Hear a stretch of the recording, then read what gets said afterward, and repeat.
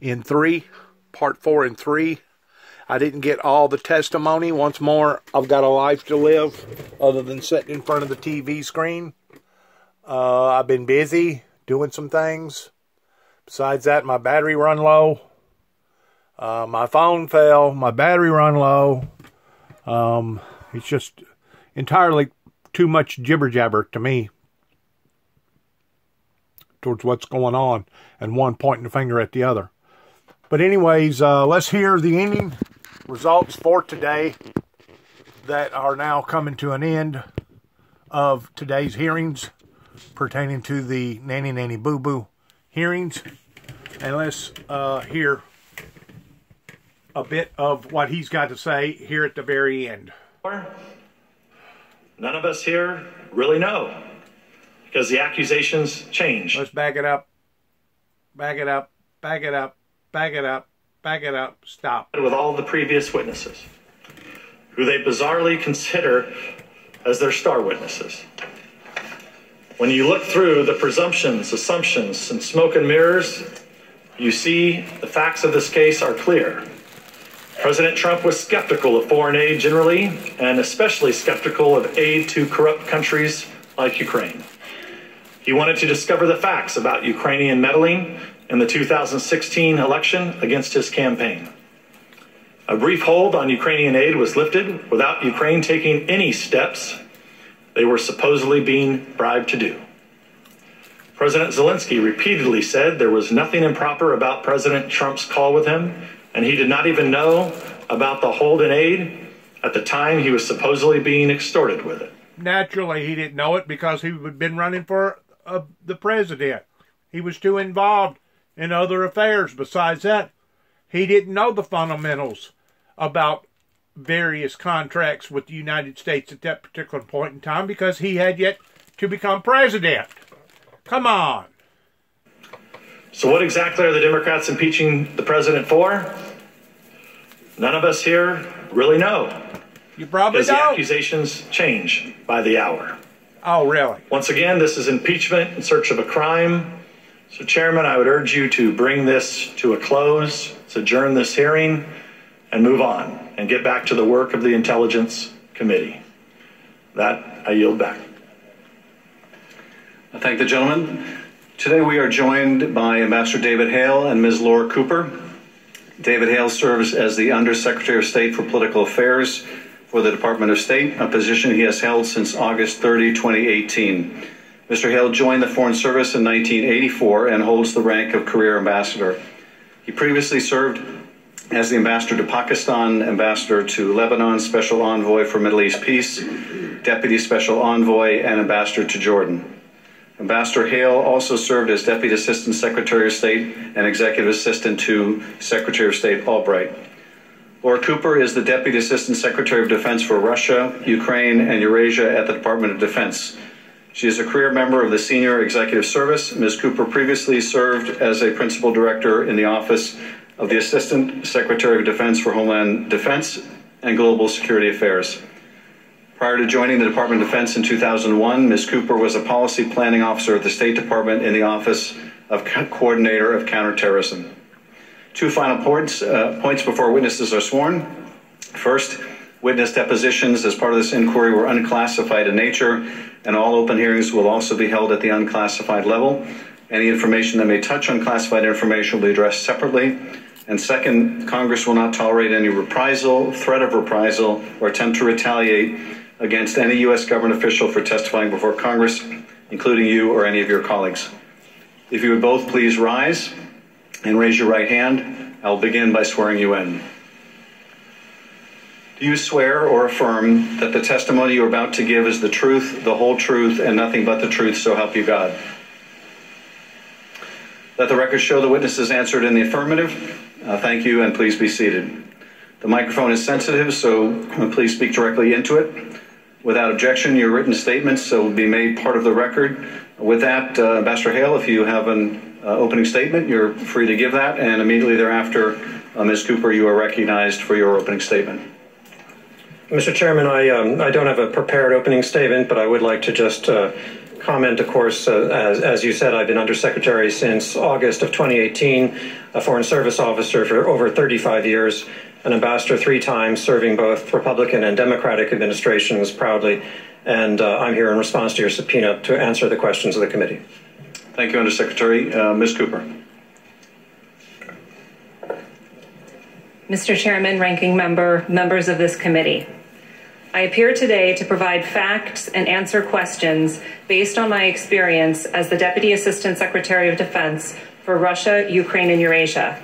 I would first like to describe my background as well as my role and vantage point relevant to your inquiry. I bring to my daily work and to this proceeding my sense of duty to U.S. national security, not to any political party. I have proudly served two Democratic and two Republican presidents. I entered government service through the Presidential Management Internship Competition, joining the State Department in 1999 to work on counterterrorism in Europe and the former Soviet Union.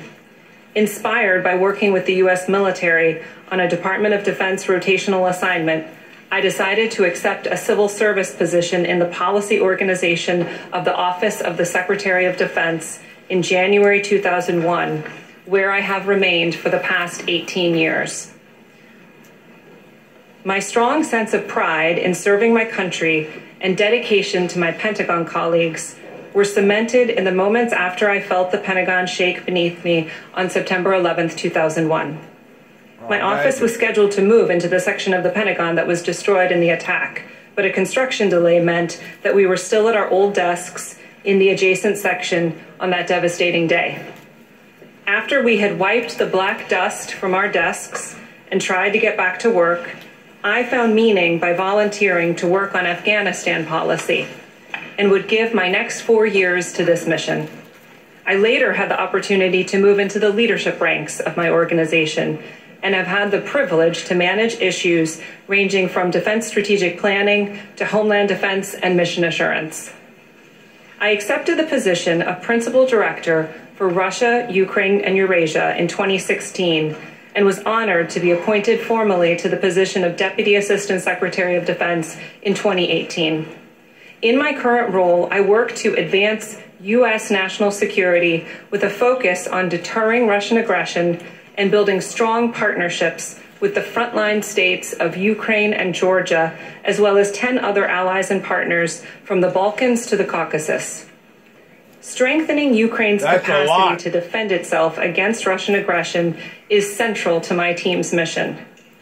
The United States and our allies provide Ukraine with, this, with security assistance because it is in our national security interest to deter Russian aggression around the world. Exactly. We also provide security assistance so that Ukraine can negotiate a peace with Russia from a position of strength. The human toll continues to climb in this ongoing war, with 14,000 Ukrainian lives lost since Russia's 2014 invasion. These sacrifices are continually in my mind as I lead DoD efforts to provide vital training and equipment, including defensive lethal assistance to the Ukrainian armed forces.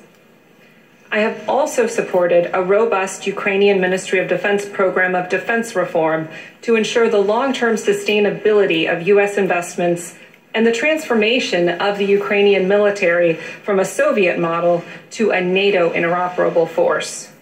The National Defense Authorization Act requires the Department of Defense to certify defense reform progress to release half of the Ukraine Security Assistance Initiative, or USAI, funds a provision we find very helpful.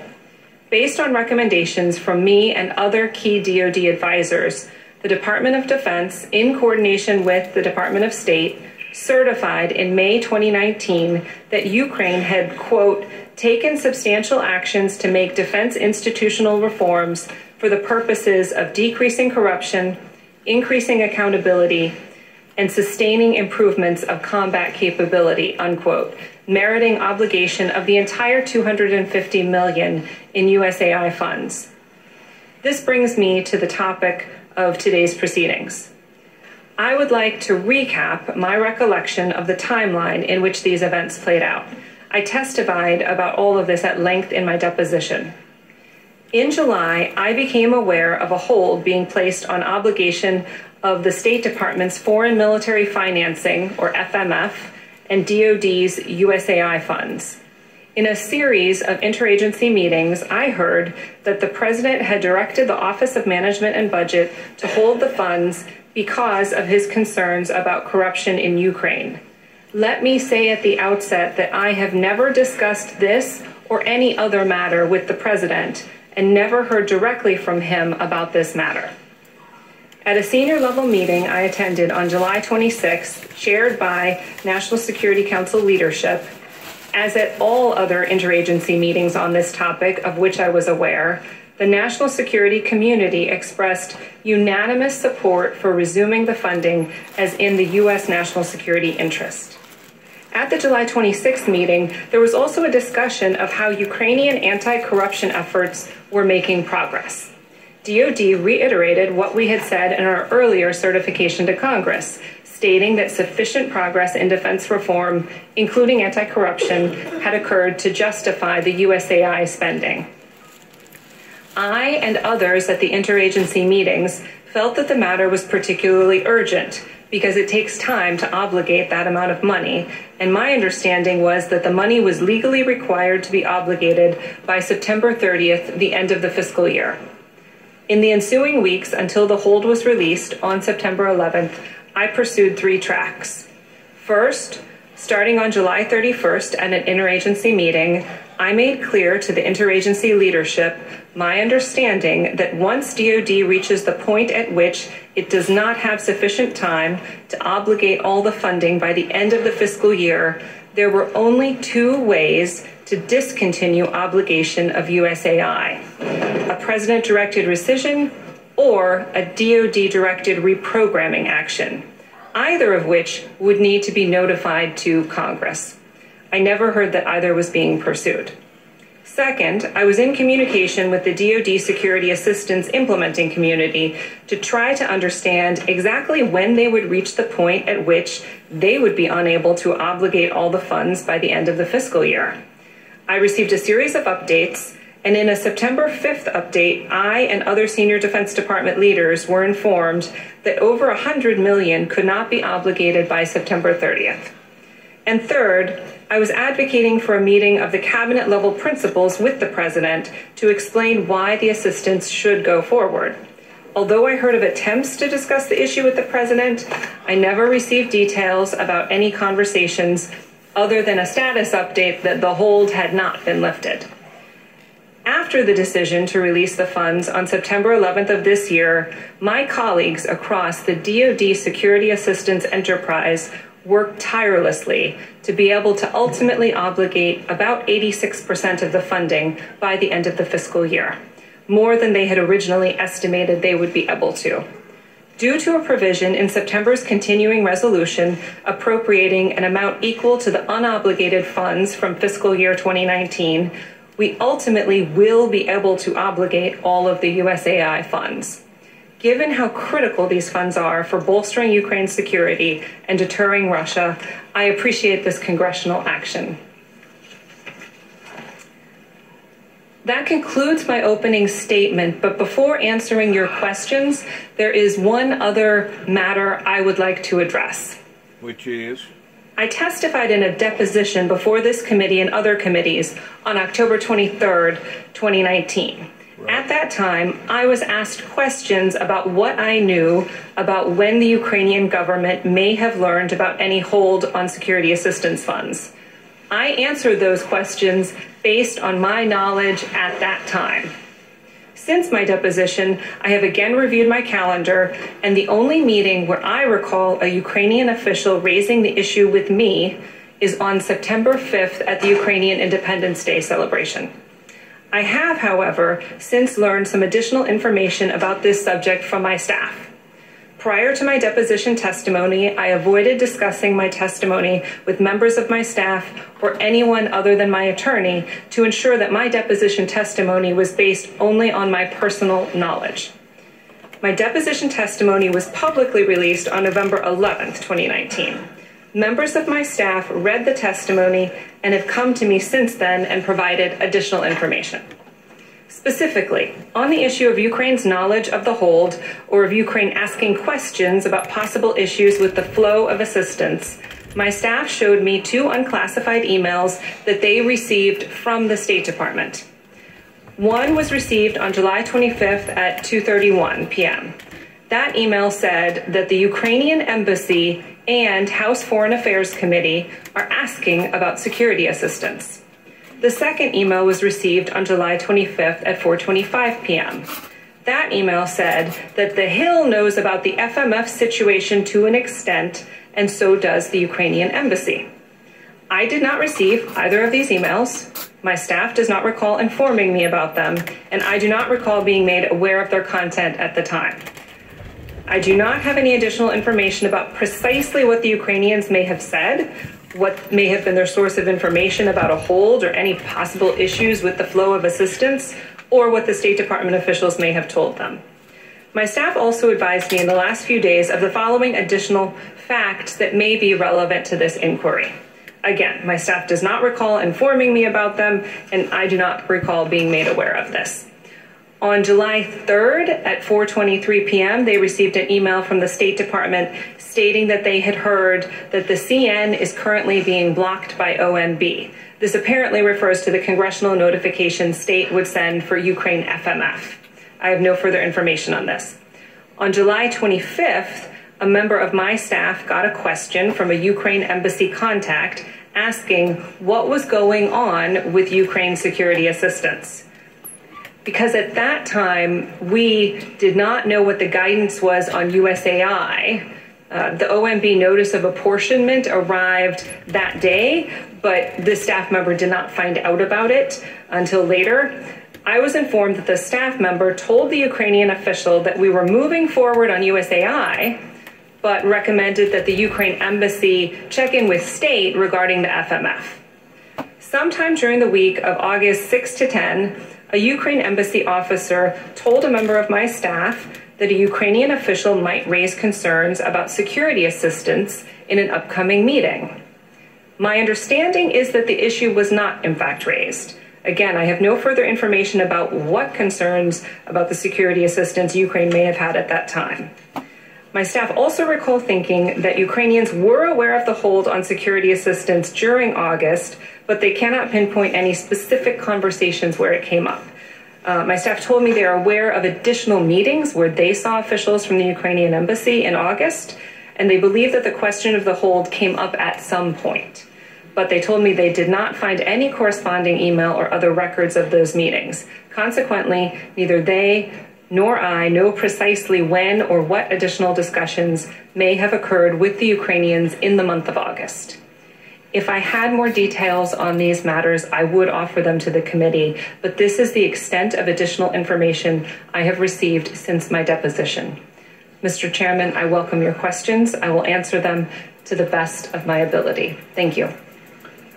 Thank you for your testimony. Um, for this hearing, we will forego the first round of questions uh, by committee counsel and immediately proceed to member questions under the five-minute rule. Um, I do want to respond to uh, the comments of my uh, ranking member, however, um, that I think suggested that this was a surprise to the minority.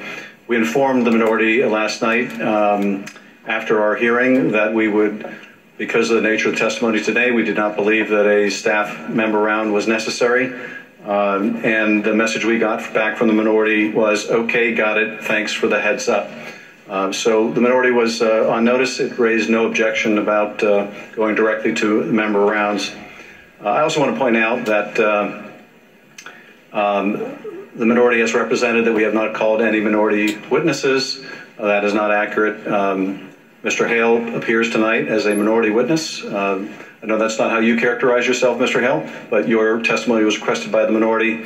Likewise, uh, two of the witnesses yesterday, uh, Ambassador Volker, uh, as well as Mr. Morrison, were both minority requested witnesses. Now, Mr. Volker, Ambassador Volker testified that uh, he didn't believe any of the allegations against Joe Biden. Uh, and in retrospect, that he should have understood that an investigation into Burisma was really an investigation into Biden uh, which he acknowledged would be inappropriate.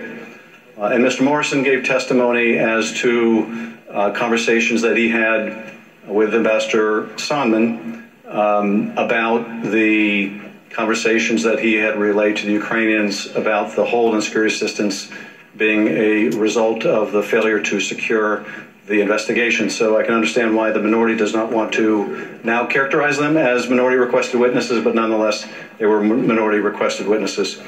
I now recognize myself uh, for five minutes. And uh, I want to begin by asking you, uh, Ms. Cooper, about what you just uh, informed us of to make sure that I understand the import of what you're saying. As early as July 25th, uh, the same day President Trump spoke with President Zelensky on the phone and uh, asked for this favor, uh, the same day that President Zelensky thanked the United States for its military support and signaled it was ready to purchase more javelins on that date. Um, you got inquiries, your staff got inquiries from someone at the Ukrainian embassy uh, who was concerned about the status of the military assistance. Is that correct? Sir, that's correct. I would say that specifically the Ukrainian embassy staff asked what is going on with Ukrainian security assistance. And did that uh, connote to you that they were concerned that something was in fact going on with it? Yes, sir. And you received, I guess your staff received more than one inquiry on that date. Uh, what was the other, the nature of the other inquiry on July 25th? Uh, sir, the that was the one inquiry to my staff, but the other um, points that I had raised were uh, emails reflecting outreach to the State Department. So the Ukrainian embassy was also con- contacting the State Department to find out about uh, its portion of military assistance? Yes, sir. And was that similarly uh, a concern about what's going on with our military aid? It was similarly a question about what, what's going on with security assistance. And your staff or one of the other department staff also heard in August uh, additional inquiries uh, from the Ukraine embassy about a potential holdup in the military assistance? Sir, I want to be careful about how I phrase this. Uh, my staff recall having had meetings with Ukrainian embassy representatives during the month of August, and they believe that the topic came up at some point during those meetings, but they don't recall the precise date or specifically what the, the nature of the discussion was. But your staff at least gleaned from those conversations that the Ukrainian embassy was aware that there was some kind of a hold uh, on the assistance. So the way I would phrase it is that there was some kind of an issue. Yes. Um, you are now, Ms. Cooper, the third witness uh, before our committee who has testified that the Ukrainians found out about a problem or a hold on the security assistance prior to it becoming public but you're the first to indicate that that may go back as early as the date of the president's call with President Zelensky. Uh, let me move to a related issue. In August, you testified at your deposition that you met with Kurt Volker, I believe it was on August 20th. The hold on security assistance was still in place. Uh, you testified that Ambassador Volker told you that if he could get Zelensky to make a public statement, quote, that would somehow disavow any interference in U.S. elections and would commit to the prosecution of any individuals involved in election interference, it might lift the hold on security assistance. Uh, is that correct? Sir, I believe that I uh, testified that it was my inference that that would uh, lift the hold on Ukraine's security assistance. And that was your inference because at the time you were talking about the hold on security assistance? That's correct. The first part of our conversation was about the hold on security assistance. And it was during that portion of the conversation that he brought up the effort to um, get this public statement? It was during that conversation. I'm not sure I would say it's during that part of the conversation. What else did you discuss in the conversation? The only two topics that I recall are the urgency of lifting the, the hold on security assistance and then him relaying uh, this separate diplomatic effort um, that I had previously been unaware of. Uh, so you didn't have any discussion about any White House meeting? Sir, I don't recall specifically talking about the White House meeting, but we I've had many conversations about the desire for the White House meeting. Um, so it's likely that that was a part of the conversation. But the two things you do recall are that you talked about the hold on security assistance and that he brought up this public statement that they wanted Zelensky to get that he thought um, uh, might be useful. That is correct, sir. Mr. Nunes.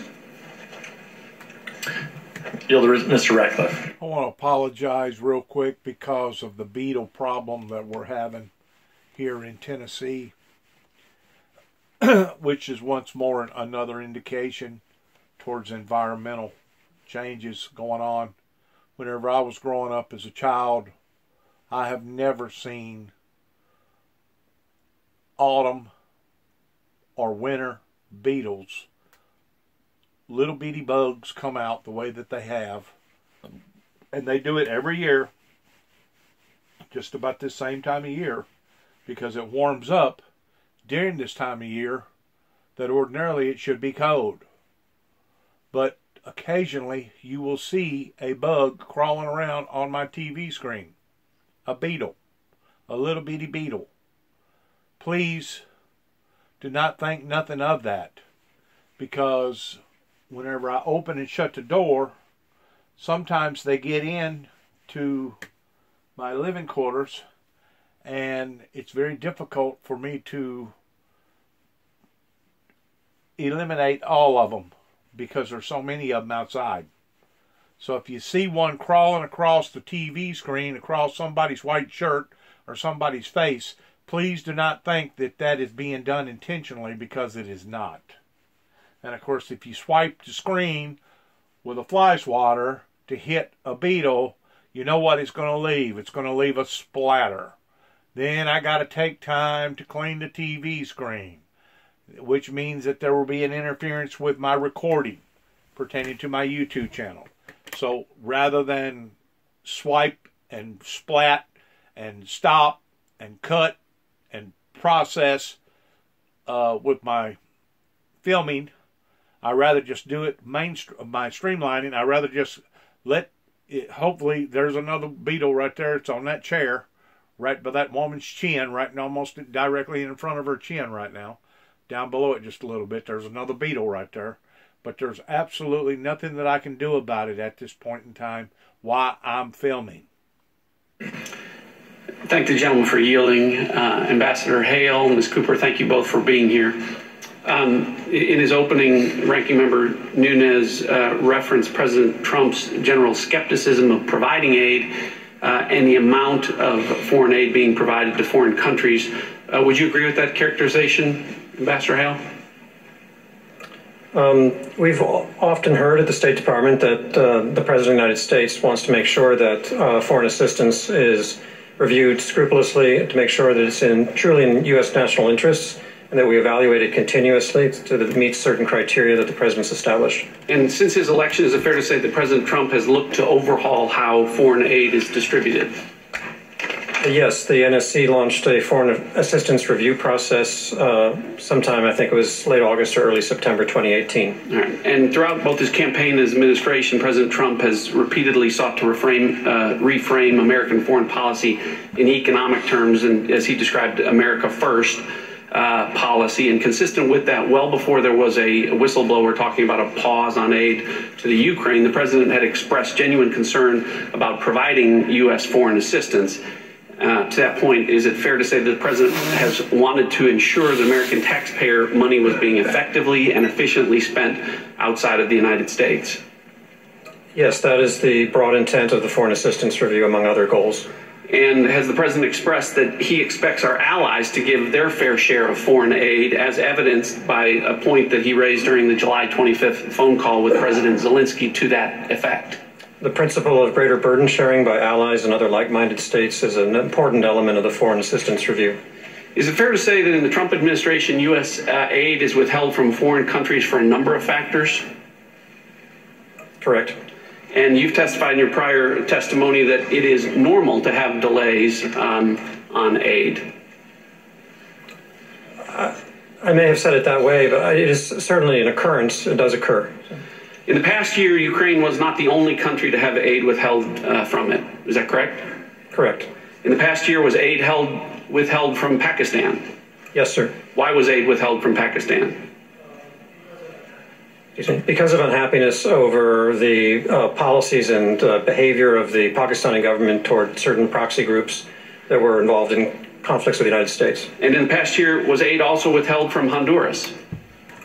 Uh, aid was withheld from uh, the three uh, states in central, northern Central America, yes. The past year, was aid withheld from Lebanon? Uh, yes, sir. And when aid was first held, withheld from Lebanon, uh, from Lebanon um, were you given a reason why it was withheld? No. So having no explanation for why aid is being withheld is not uncommon. I would say it is not the normal way that we function. But does happen. It does happen. And is it true that uh, when aid was being withheld from Lebanon, that was at the same time aid was being withheld from Ukraine? Correct, sir. And uh, you've testified that the aid to Lebanon still hasn't been released. Is that right? That is correct. All right. But the aid to Ukraine was released on September 11th, correct? Uh, I read that, yes. All right. So it's fair to say that aid has been withheld uh, from several countries across the globe for various reasons, and in some cases for reasons that are still unknown just in the past year. Correct, sir. So um, the assertion's been made that uh, President Trump's Ukraine policy changed uh, when there was a pause in uh, the the aid, or the aid was withheld. Um, is that an accurate statement? That was not the way I understood things to be happening at the time. We were not given an explanation. And in terms of our policy, in terms of aid to Ukraine, you've described it as very robust. Our aid to Ukraine? Yes. Yes. Um, as evidenced by President Trump's policy decision to provide lethal defensive weapons, Javelin missiles. It was very robust, yes, sir. Uh, and that was a decision that President Trump made that uh, President, the prior administration, President Obama, had not done. Lethal weapons had not been provided to Ukraine in the Obama administration, correct? I was not involved in Ukrainian affairs during the Obama administration, so I don't feel competent to address that. Uh, and when aid to Ukraine was put on pause, I believe you've testified that there may have been concern by Secretary uh, Kent and by Ambassador Taylor that it was contributing to a potentially negative effect on U.S. Ukraine relations. Do you agree with that? Well, the State Department position was to advocate for the continuation of that assistance uh, as an important element, in fact, a key element of our strategy to support Russia, uh, support Ukraine against Russia. I want to stop for a minute. I'm sitting here listening to this because this is this is this is a a, a new image of how America does business with international foreign affairs all over the planet. All over the planet. You know, we as individuals live in our little bubbles. We got our families, we got our children, we go to school, we go to work. Then as we get older, we think about retirement and we've got our own personal problems on an individual level. If we're giving away money to three different countries in South America, Afghanistan, Libya, and two or three others that has been mentioned as well as the Ukrainians, or given weapons of mass destruction, weapons of doomsday, basically, scenarios. It pretty much so throws out the door in regard to biblical Bible prophecy that was supposed to have taken on a mainstream occurrence when it took place 30 plus years ago in 1980 and 8 during Ronald Reagan's administration.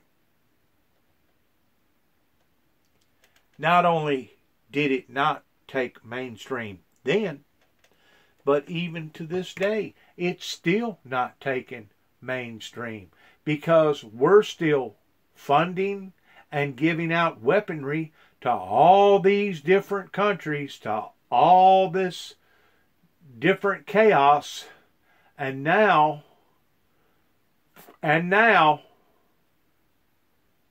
the genie has been let out of the bottle. Pandora's box has been opened to where now we see what kind of affairs that the United States government is in fact partaking and participating in. I have never in my life been so heartbroken as I am by sitting and watching, learning, observing, understanding more and more about the corruption coming from the United States of America.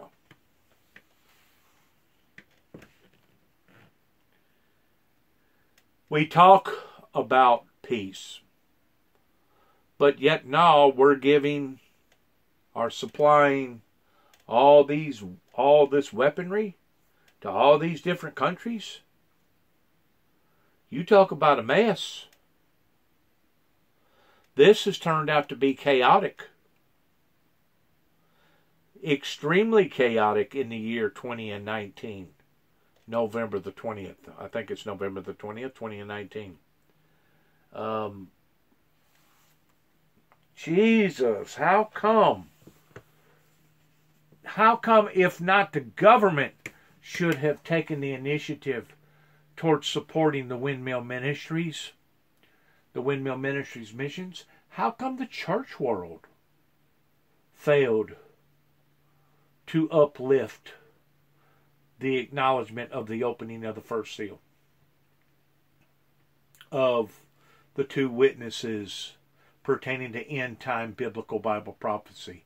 I mean, I hear a lot of chatter about how that, you know, I think uh, uh, the Heinz 57 man, uh, he, he was big on, on trying to uh, delegate peace and peace talks and stuff like that. And I don't know in what avenue or what angle that, that they're that they're working in. I don't know if they're bringing up biblical Bible prophecy. I don't know if they're just flipping it out of their hat towards saying peace, peace. Of course, the Bible says that whenever they shall say peace, peace, peace, and all is well, that sudden destruction will fall upon to them. Well, we talk the talk about peace, but as far as all is well, we're just about as far from all is well, not just here in America, but throughout all these different places than a man is from the moon. We are just about as far from all is well as a man is from the moon. We talked the talk, but no one was willing to walk the walk as far as allowing for the founder of the Windmill Ministries to take center stage, to have that that dominant uh, influence or that voice. And now, 30 years later, we're seeing the results on account of not doing it like it should have been done going all the way back into the Reagan and the Mr. Senior Bush era. I just pray to God that God's will will be done and that all this will be cleaned up and straightened out within the next few years. Because I can already see that this is creating that much more uncertainty. And anytime you have uncertainty between two allies. Now you start having doubt. When you start having doubt, now you start wondering what was he or she or it as an entity up to to begin with. And it becomes not just frustrating, but it becomes dangerous whenever you have such trust issues that now are being eroded and dissolved on account of all of this. You know, the, these are no longer matters that are being handled with the intel community of people that didn't know a daggum thing about nothing of the, nothing about all this. Um, I'm, I'm, I'm not going to lie to you. There was there's been a lot of it that, that I didn't realize, that I just didn't know, uh, went on be, be, be, be, beyond the curtain. I, I've always known that there was, you know, uh, workhorses, and then there's show horses. I've always known that. I just didn't know in detail towards what the workhorse has actually done in different departments for not only the United States but for other mainstream countries around the world. And now, all of a sudden, this is opening up the eyes of not just myself, but opening up the eyes to probably millions and millions of people. Because if the truth be known, this is probably breaking all time records as far as people tuning in uh, with ratings. This is probably breaking all time records all over the planet because of such media exposure that has never been seen before on live TV. All time records. All time records.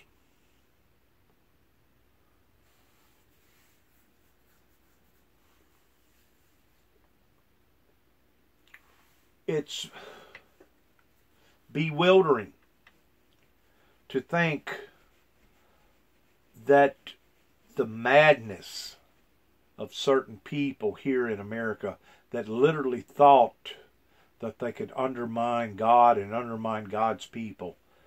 It, it, it, it's, it goes beyond just being frustrating to the point that now it's very, very uh, wor- worrisome Uh, of, of bringing that much more uncertainty to our future and to our children's future and their children's children's future. It's sad. This is a sad way of discovering the truth. It's sad that it has taken 30 years of relentless bickering, badgering, underhanding, manipulating deals to the point that we are now facing a $23 trillion deficit and all the other problems that have miraculously just come out of the blue because all of a sudden everybody and their brother started looking at this towards saying, My God, what have we done? What have we done?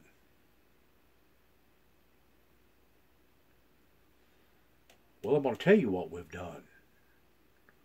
We have put our future, obviously, in the hands of the wrong people. That's what we've done. And because of it, it is going to be devastating for generations to come until we can finally figure out how to resolve these problems. It's become beyond worrisome. It's actually frightful in not knowing from one day to another what's going to escalate or who's going to take all this and misconstrue it, misunderstand it, what country is going to be offended because now they're finding out that we was doing this over here and they didn't know about it because everything was being done in secrecy. I mean, it just opens up a brand new can of worms in today's society with the genie being taken out of the bottle. Uh, it, it, it, it's, it's frightful, frightfully, frightful thinking that if this gets into the ears and the eyes of the wrong people, what the consequences could actually be whenever it comes to jeopardizing our national security and jeopardizing our future and our children's future. I just pray to God that all things will lead in the direction that God, the Heavenly Father, wants them to lead into. That His will will be done because I've never seen so much anxiety, so much hatefulness, so much bitterness, so much worrisome moments that we're all living in right now towards it.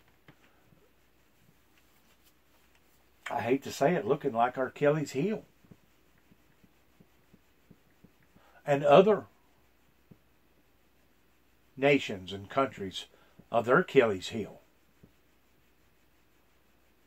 These are not good moments. Please let's listen. My time's expired. I yield back. Mr. Himes. Thank you, Mr. Chairman. Thank you to our witnesses for testifying uh, tonight. I'm delighted to follow Mr. Ratcliffe because he just perfectly summarized the defense that, that, that my Republican colleagues are mounting of this behavior. And the defense goes like this The president is acting on some deep historical concern, apparently invisible concern about corruption. And that because he's so concerned about corruption in Ukraine, he's holding up aid and being prudent and judicious. The first part of that is pretty easy to dispose of because President Trump wasn't worried about corruption in Ukraine. In fact, in the two conversations he had with the president of Ukraine on April 21st and July 25th, not once does the President of the United States use the word or mention corruption to the President? The second part of that is a little bit more interesting that he's just being prudent and holding up aid. That's not just wrong, it's illegal. Because, Ms. Cooper, and I, I want you to help us walk through this. dangerous. Since the Impoundment Control Act of 1974, the president has not had the authority to, on a whim or out of prudence, or as my Republicans say, because of a general skepticism of foreign aid, to stop foreign aid. Ms. Cooper, under our Constitution, it's the Congress, not the President, that controls the power of the purse, correct?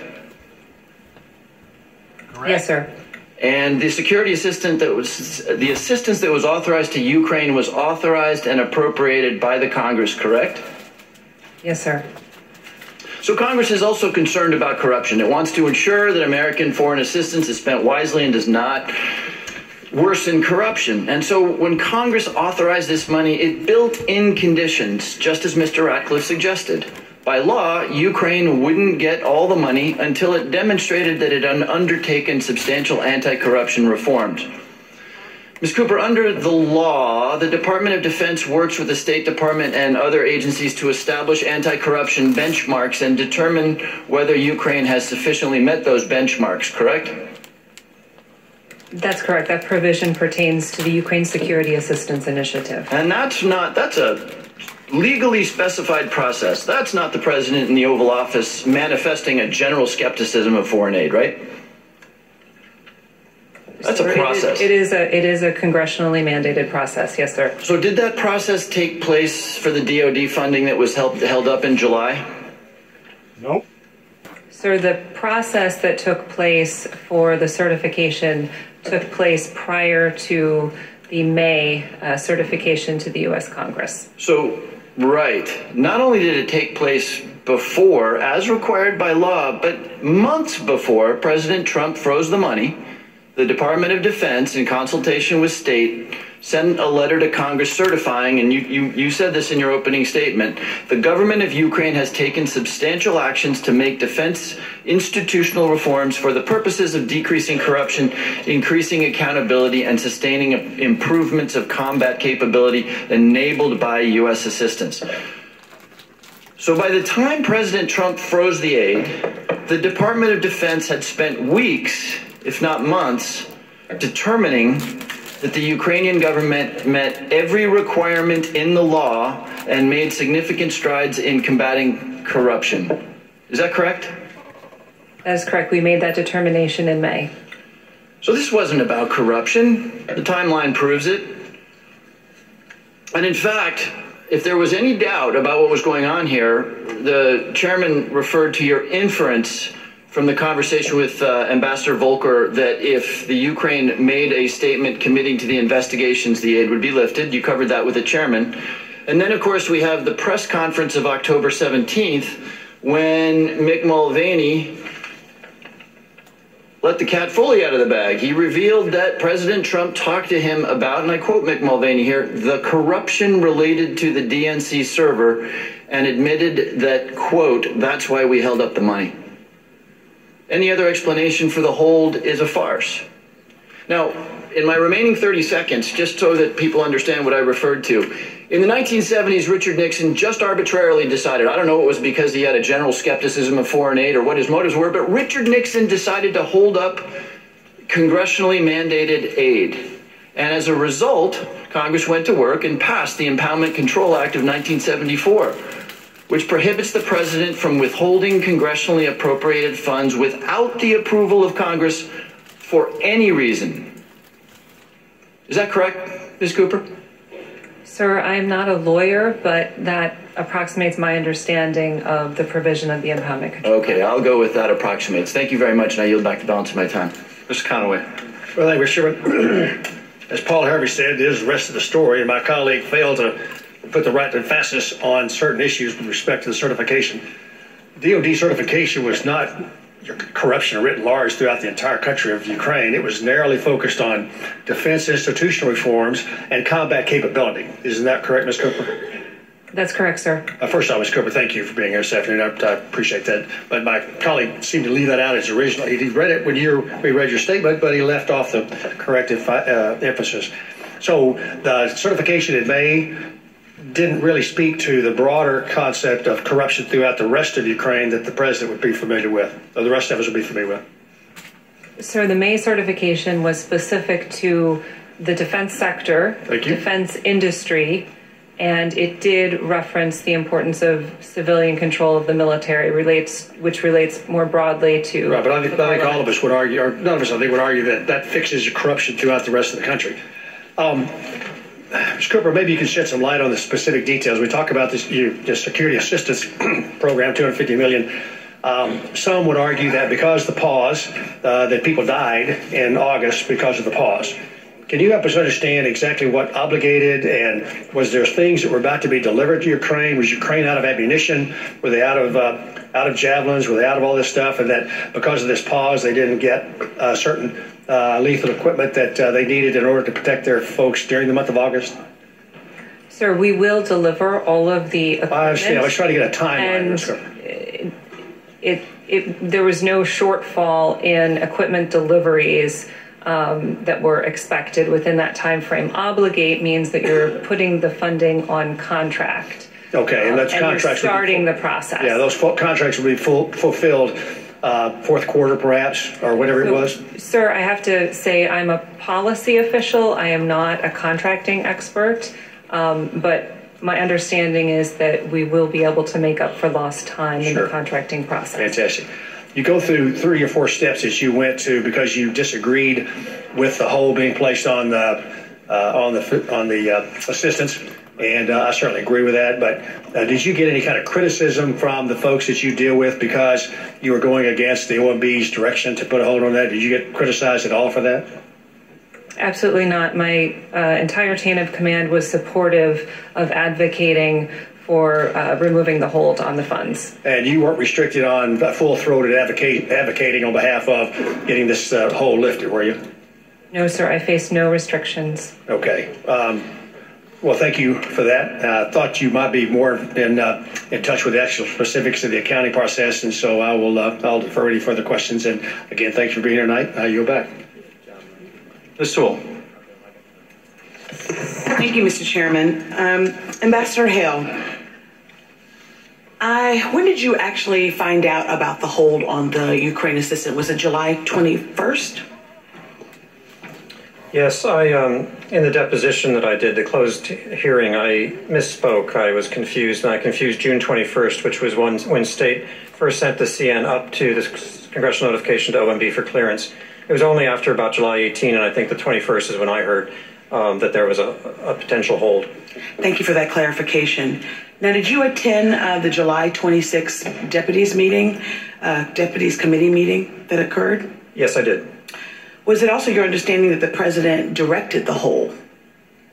Uh, we were told in that meeting by the OMB representative that they were objecting to proceeding with the assistance because the president had so directed uh, through the chief of staff, acting chief of staff. What was the State Department's position regarding the hold? State Department advocated, as I did in that meeting, for proceeding with all of the assistance uh, consistent with our policies and interests in Ukraine. You believed uh, what you said? You believed in the release of the hold? Yes, I did. Did anyone at the interagency meeting at the end of July support the hold? Did anybody want the hold to remain? And if so, who? What agency? only agency, the only agency represented in the meeting that uh, indicated that they supported the hold was OMB. Ms. Cooper, did you understand um, similarly that there was an overwhelming interagency cons- uh, consensus to lift the hold uh, and that OMB, at the direction of the president, was the only roadblock? Yes, ma'am. How is the security assistance in the national security interests of the United States? What is our interest? Explain that to my constituents in Alabama who are wondering why we should care about the uh, security, the hold that's on the security assistance. Yes, ma'am. This specific assistance helps build the capacity of the Ukrainian armed forces. And it's important to understand that these are forces that are fighting to defend themselves against Russian aggression every day. It's an ongoing war. So they do need this equipment uh, to support their ability to defend themselves. And I would say there's a larger issue here that relates to U.S. policy on Russia.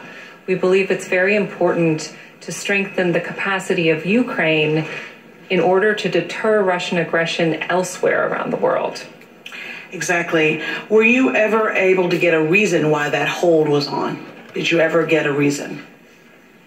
No, ma'am. The only thing that I heard about it, but this is again, you know, second, third hand, um, was that the president was concerned about corruption. But that was all I ever heard. So, would you, um, were you ever eh, provided any additional information about the reason for the hold? No, ma'am. I thank you and I yield the balance of my time to the chairman. Thank the uh, gentlewoman. Uh, my colleagues in the minority asked uh, Mr. Hale, isn't it common to have holds on military aid? And I think you said they're not unusual. Would you agree, though, that it would be very unusual to place a hold on military aid in order to leverage a foreign country to get them to investigate a political opponent? Yes.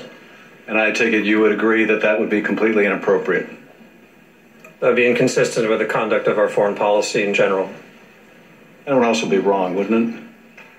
Certainly not what I would do. Um, Mr. Turner. Of course, it would be interesting if any witness had ever testified that that was the case. I yield my time to Mr. Jordan. Thank the gentleman for uh, yielding. First of all, I just wanted to go where the chairman started he said that Ambassador Hale was one of our witnesses. They're all your witnesses. You, you, you called 17 witnesses, you subpoenaed 15 of them. Uh, they're all your witnesses. We didn't get a subpoena anyone, we didn't get to call anyone. You gave us an opportunity to get a list to you a couple weeks ago where we made suggestions on who you might allow us to have. So we did put three people of those 17 on that list so that they could provide at least some semblance of, of context and framework for this entire thing. So once again, trying misleading the the folks watching this hearing is is um, not not helpful. Thank you both for being here and for your service to our country, uh, Ambassador. I read through yours, uh, Ambassador to Pakistan, Lebanon, Special Envoy to the Middle East, Ambassador to Jordan, served in Tunisia, Bahrain, Saudi Arabia. You've been to about every hotspot on the planet. Thank you for uh, those hardship assignments. We we uh, we appreciate your. Uh, your service. Let me go uh, first to uh, earlier this today. Mr. Sondland, Ambassador Sondland, excuse me, uh, said that he was denied access to some of his records. And the State Department put out a statement. They said this Ambassador Sondland, like every current Department of State employee, called before Congress in this matter, retained at all times, and continues to retain full access to his State Department documentary records and his State Department email account, which he has always been fully free to access and review at will. That's an accurate statement from the State Department, isn't it, Ambassador Hale? I had not seen it until shortly before entering this uh, hearing room, but it sounds accurate, yes. Uh, appreciate that. Um, Ambassador, you're aware of no connection between the pause and aid in exchange for any kind of investigation. Is that correct? I'm sorry, I missed a keyword. Could you repeat the question? You're, you're, you're not aware of any connection between the pause and aid and in exchange for some kind of investigation being announced or done by Ukraine. Is that Correct. right? And you're not aware of Secretary Pompeo having any knowledge, direct knowledge of a connection between investigations and security aid. Is that I'm not, correct? I'm not aware of that, and he did not speak to me about that. You're not aware of any nefarious motive to withhold aid to Ukraine. Is that correct? Correct, sir. In fact, you testified that what you knew was that President Trump was, one, skeptical of foreign assistance generally. Mr. Ratcliffe highlighted that in his round of questioning. And two, skeptical of the corruption environment in Ukraine. Is that accurate? Well, we had heard that. That was a general impression at the State Department, correct? And the aid was actually eventually released to Ukraine. Is that correct as well? Uh, yes, I read that, sir. And there was just a 55 day or less than two months pause in the actual hold on the aid. Is that right, uh, Ambassador? Seems so, yes, correct. And to your knowledge, as a top principal at the State Department, an investigation into the Biden's Burisma of the 2016 election never happened by the Ukrainians. Is that correct? I don't know that I have the ability to answer that question, having taken this job in August of 2018. Oh. Well, since you've taken the job, how about that? To my knowledge, that's correct. Thank you. I yield back.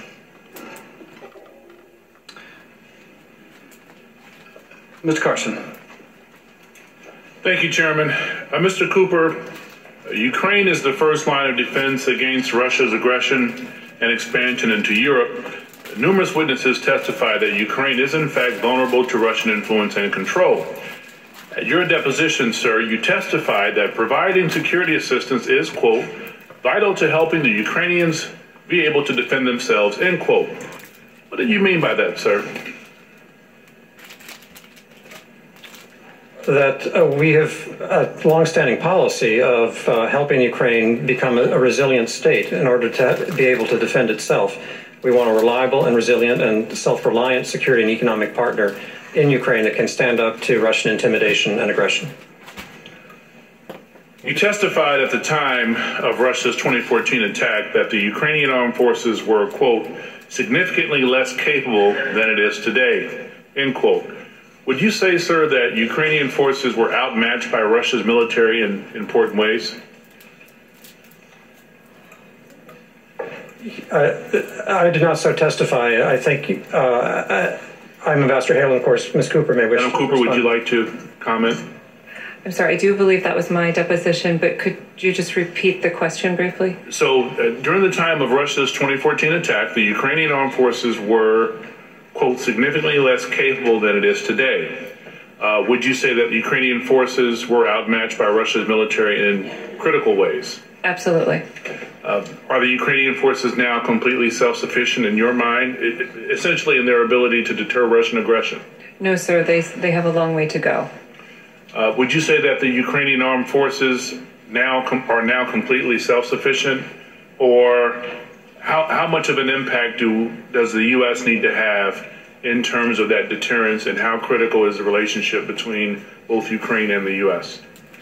Sir, the Ukrainians are on the right path to be able to uh, provide for their own security, but they will still need U.S. and allied support uh, for quite some time, and they need that support in the form of you know tangible uh, assistance um, as well as uh, political and diplomatic support. So this question is to the both of you. Uh, why was Russia's illegal annexation of Crimea so significant in your mind? Madam Cooper. Russia violated the sovereignty of Ukraine's territory. Russia illegally annexed territory that belonged to Ukraine. They also um, denied Ukraine access to its naval fleet at the time. And to this day, Russia is building uh, a capability on Crimea designed to expand Russian military uh, power projection far beyond the immediate region. In 2014, uh, were there concerns in Washington, here in Washington, and European capitals that Russia might not stop in Ukraine? I was not in my current position in 2014, but it is my understanding that there was significant fear about uh, where a Russian aggression would stop. So what, what, what about today? If, if, if the U.S. were to withdraw its military support of Ukraine, what would effectively happen? Probably wind up It in is my belief that if we were to withdraw our support, it would embolden Russia. It would also validate Russia's violation of international law. And which country stands to benefit the most? Would stand to benefit the most from such a withdrawal? Russia. Ambassador Taylor uh, testified about the importance of the U.S. upholding uh, the international system. And uh, it has underwritten peace in Europe since the end of World War II. A critical aspect of defending that system is ensuring that Russia cannot change its borders by military force. That is why there is strong bipartisan support for providing Ukraine with security assistance. That is why it is so incredibly destructive of the President of the United States to withhold this assistance as part of a scheme to pressure Ukraine into investigating a debunked conspiracy theory and attack former Vice President Biden. Mr. Chairman, I yield back. Dr. Wenstrup.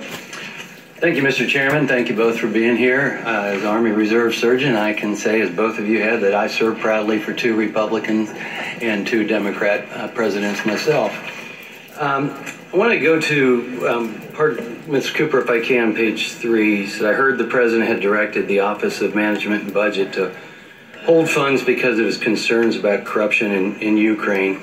And you know, you're coming from the DoD side here. You know, I served a year in Iraq, and it was important, and I think it's something that the Army always does, as I have seen, that we don't want to deliver aid or assistance if there if it's going to some corrupt or being delivered in some corrupt way. In other words, if we're going to build a medical treatment facility for the Iraqis, uh, we want to make sure we're not uh, getting charged 10 times as much. I mean, we, we, we, we're concerned about corruption in general when we're delivering funds uh, through the DoD. Is that correct?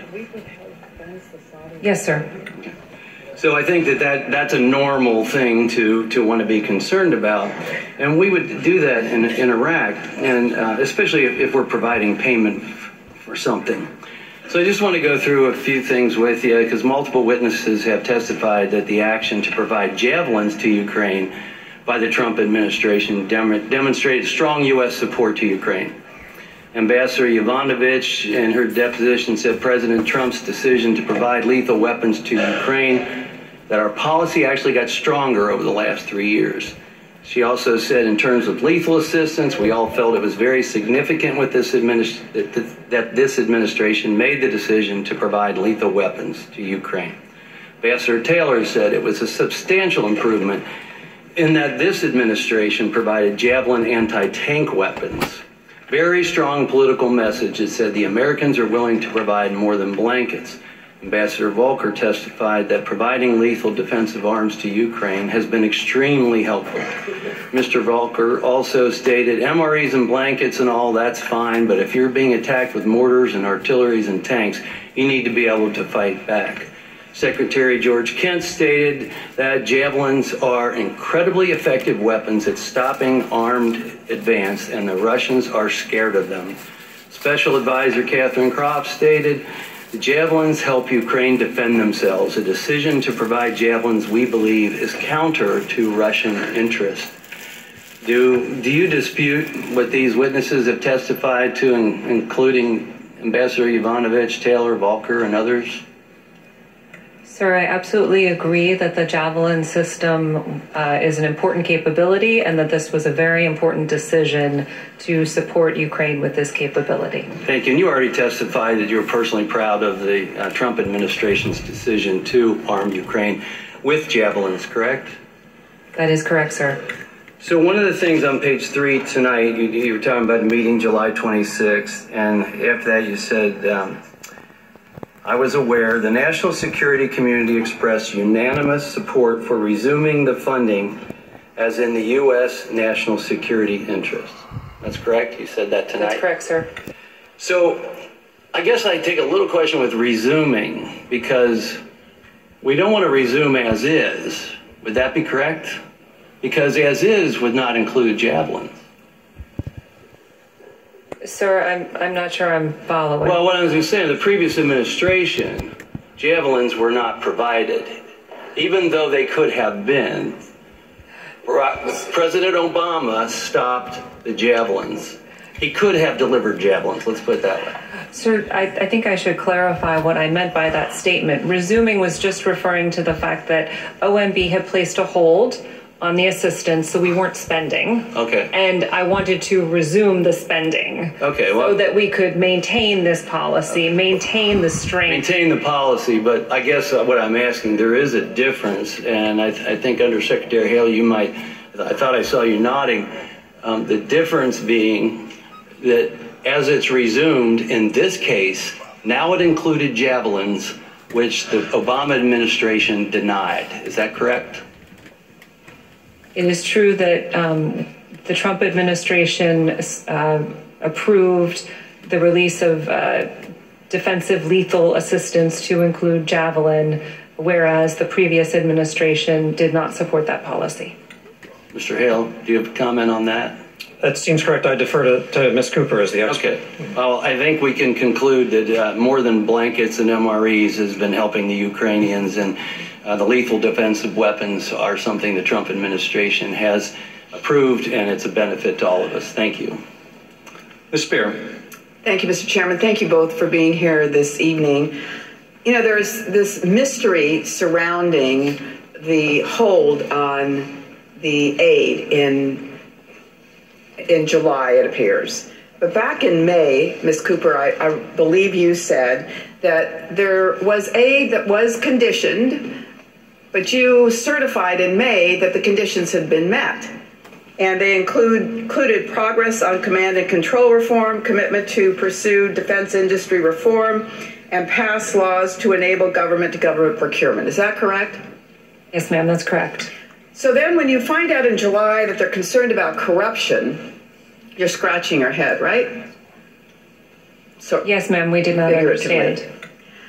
And do you know of any effort that was undertaken then to assess the corruption in Ukraine in June, July, August? Ma'am, as I believe I said in my deposition, the only um, specific uh, discussions that I am aware of related to that series of interagency meetings, the sub PCC, as we called it, the PCC, uh, Policy Coordination Committee, and the uh, Deputy Small Group. And in those meetings, participants did discuss the degree to which um, corruption was a concern and the degree to which there was progress. And my recollection of what the participants said in these meetings was that there was a very positive sense that um, progress was being made. So you have these meetings, progress is being made.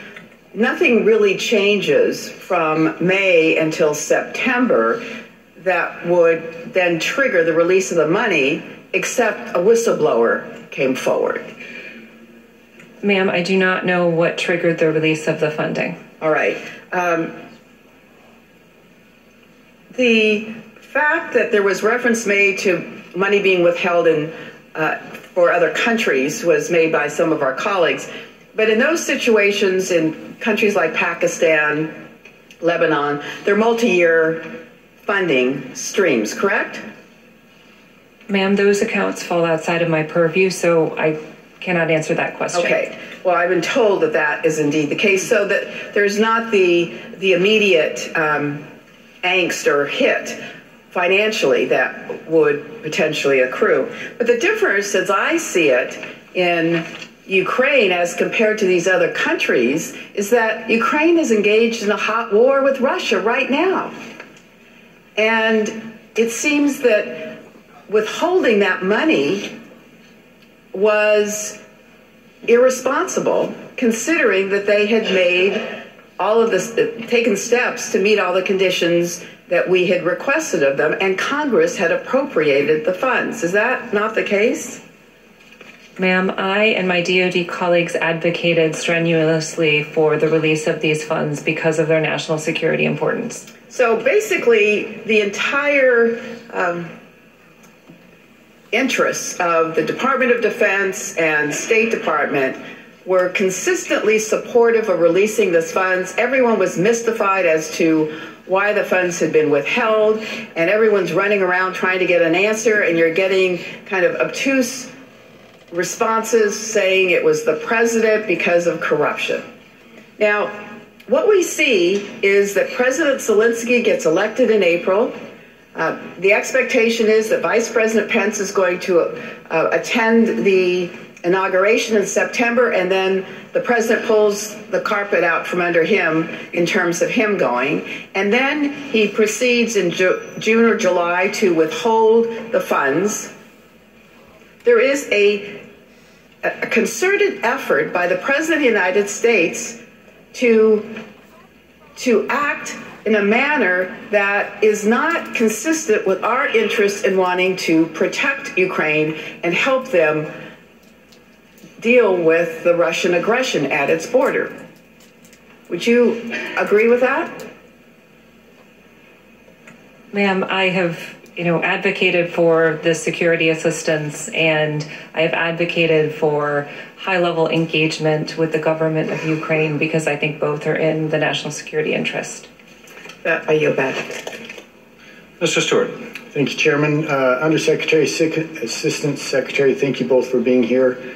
Um, you're both recognized as experts, dedicated public servants, and I got to tell you, being the President of the United States is perhaps the most complicated endeavor in the history of the world. No one could do it without people like you to provide that backbone that you do, and thank you for doing that. Um, I don't mean to repeat the same questions ad nauseum, but I think we reached a point of nauseum, I don't know, sometime yesterday or some time ago. It's some repetitive here, and you'll forgive me for doing that. Although, Mr. Cooper, I do have some some questions based on some things you've said previously, and I would just want to for clarification, there's a question about these emails that I think they claimed withholding, uh, described withholding the aid, and they had come from Capitol Hill or from someone on the Foreign Affairs Committee. Is that true?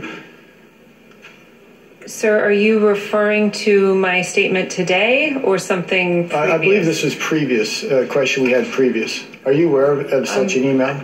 I'm, I'm sorry, I don't think I have enough information to make an assessment. Is it from a particular page in my deposition? No, it's just reporting that we've heard that there may have been communications with you with someone on the Foreign Affairs Committee on the Hill. Is that is that not true? That there may have been communications with me? Yes, email with you. Sir, I'm not I'm not aware. Okay, thank you. Um, and for clarification as well, someone may have asked you or queried you from the Ukrainian embassy about the withholding of aid. Is that true? Did you hear from them? Sir, I testified earlier that um, the communication from the Ukrainian embassy was to my staff, and my staff mentioned this to me after my deposition. Um, the only specific communication that I recollect with the Ukrainians about this specific issue was on, I believe it was September 5th at a reception at the Ukrainian embassy. And just to bore down on that just a little bit, was that just a query generally about the forthcoming aid, or was it specific regarding it, them being aware that the aid was being withheld? So, just to be clear, the September 5th conversation that I had was specific to uh, the hold. There, they, there was an awareness of that, and there was a question of concern. Okay. Thank you. You know, Ms. Cooper, uh, well, to both of you, uh, Undersecretary Hill as well, uh, at the end of the day, it really does, and I've done this before, it really does come down to this. Uh, the transcript I'm holding up is a transcript of the phone call between President Zelensky and President Trump that uh, I would hope every American would take the opportunity to read. It's only a few pages long. And, uh, and much more information beyond that is maybe helpful to inform, but it really comes down to those conversations, those few sentences. But um, Mr. Hill, Well, going quickly through a series of questions, and I have your answers here, so this won't take long. Uh, and you've answered them generally anyway. You agree the United States should evaluate whether a country is worthy of our aid. Is that fair to say? Yes, sir. And you understand as well that President Trump has been skeptical generally of foreign aid and, and some of the money that we've given. Is that fair as well? I think so. And I think that's been fairly consistent. He's done that since before he was elected, I think. Um, others in the process have testified that Ukraine has a long history of corruption. That's not going to surprise any one of us. We've talked about that about a thousand times. Do you think it was right the President Trump would, would test, is a word I think used previously, that he would test President Zelensky prior to, uh, to providing some of the security assistance? The President Zelensky was new. Um, yes. I had met him in February. I was impressed by him, but I think it was understandable for the administration as a new president in Ukraine was coming to office to understand better what that president's policies would be and attitude toward the United States. And see, Undersecretary, I think that's key because we've had it referred to while the DOD had completed their review about the same time. But this was a person who was elected and we knew nothing about him. He didn't have a history of governance in Ukraine. He came really a, a little bit like President Trump himself. He did not come from a, a, public background that we would have much information on him. And it seems prudent, as you said, to kind of test him and see if he was serious about Ukraine. At some point, I'm going to conclude. I believe it was about Labor Day. The Secretary was able to engage the President on the security assistance.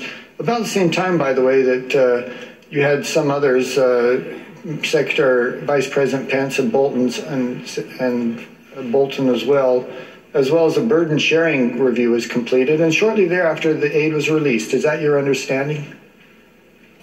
Um, I, I, was never informed as to why the assistance was released. I did read about it. Okay, well, those events did happen, and it seemed like they were the reason the aid was released. But thank you both, and I yield back. Mr. Quigley. Thank you. Thank you both for being here, and thank you for your service. You've both been asked about uh, the importance of this uh, military assistance as it affects Ukrainian sovereignty and uh, its importance because of potential uh, greater ambitions by uh, the Russians. Let me try to put it in context, and please get your reaction from, from both of you, from a, someone who had been there before, uh, a renowned international policy expert on such things, uh, Brzezinski. Uh, his quote seems to strike home today. He wrote, uh, Russia can either be an empire or a democracy but it cannot be both. Without Ukraine, Russia ceases to be an empire. But with Ukraine suborned and then subordinated, Russia automatically becomes an empire. Your thoughts of how this puts this into context today, please? Sir, I think that is a very powerful and accurate quote. I would agree. Ms. Cooper, you uh, talked about emails that were drawn to your attention. Um, that you were, they were sent to your staff. Is that correct? The emails that I discussed this evening were emails sent to my staff. That is correct. Okay. Uh, I, I, think, first of all, it's important to point this out that it's not something you were aware of, but it points to a larger issue that the Defense Department and the State Department refused to comply with a, a duly issued subpoena to provide this committee with documents that would further shed light on when precisely the Ukrainians knew about the hold. So uh, this isn't something you're aware of, but there's untold information out there being blocked that would draw greater light and help us understand. Is there anything else out there that you're aware of or uh, possibilities that are out there with DOD or the State Department which could help us shed light on what the Ukrainians knew and when they knew it? Sir, I have shared with the committee all that I recollect, but I have not done an exhaustive investigation.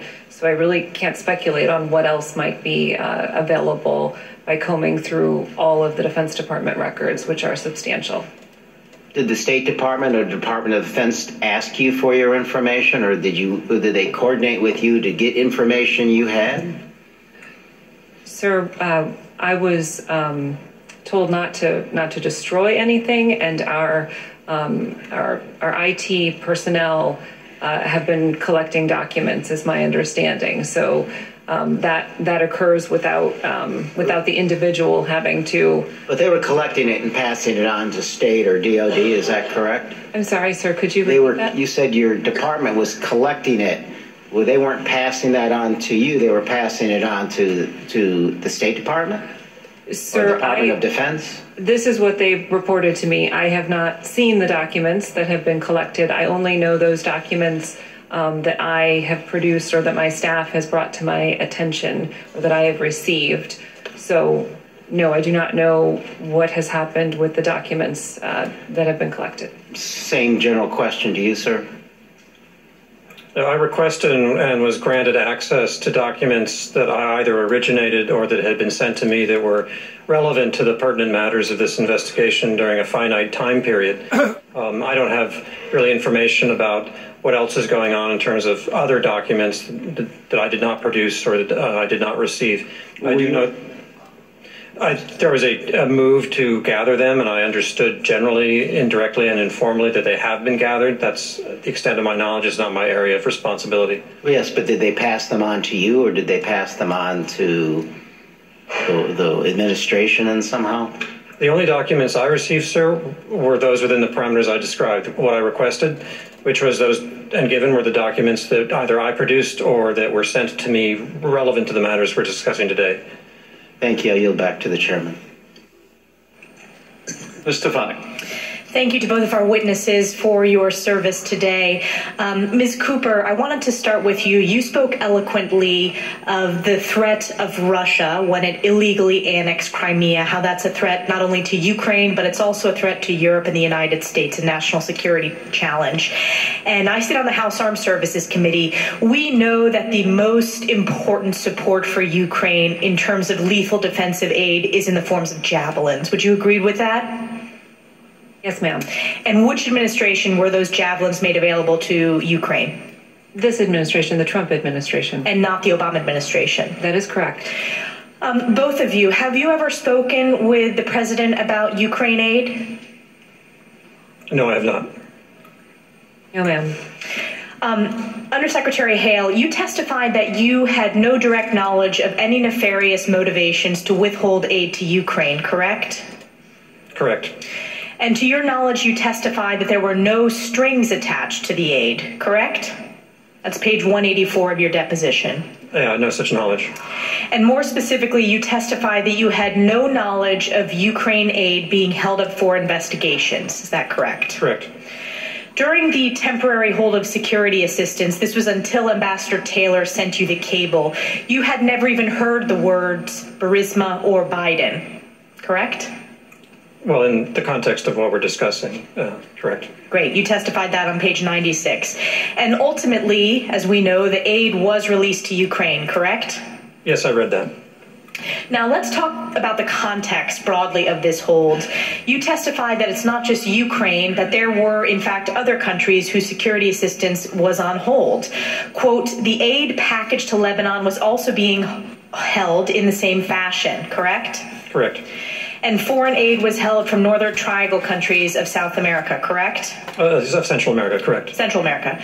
And you also testified that when you served as ambassador to Pakistan, security assistance was also held uh, for their failure to conform to our concerns regarding terrorists and other issues on the Afghan Pakistan border. Correct you know, basically, let's broadly talk about the context of all of these holds on aid.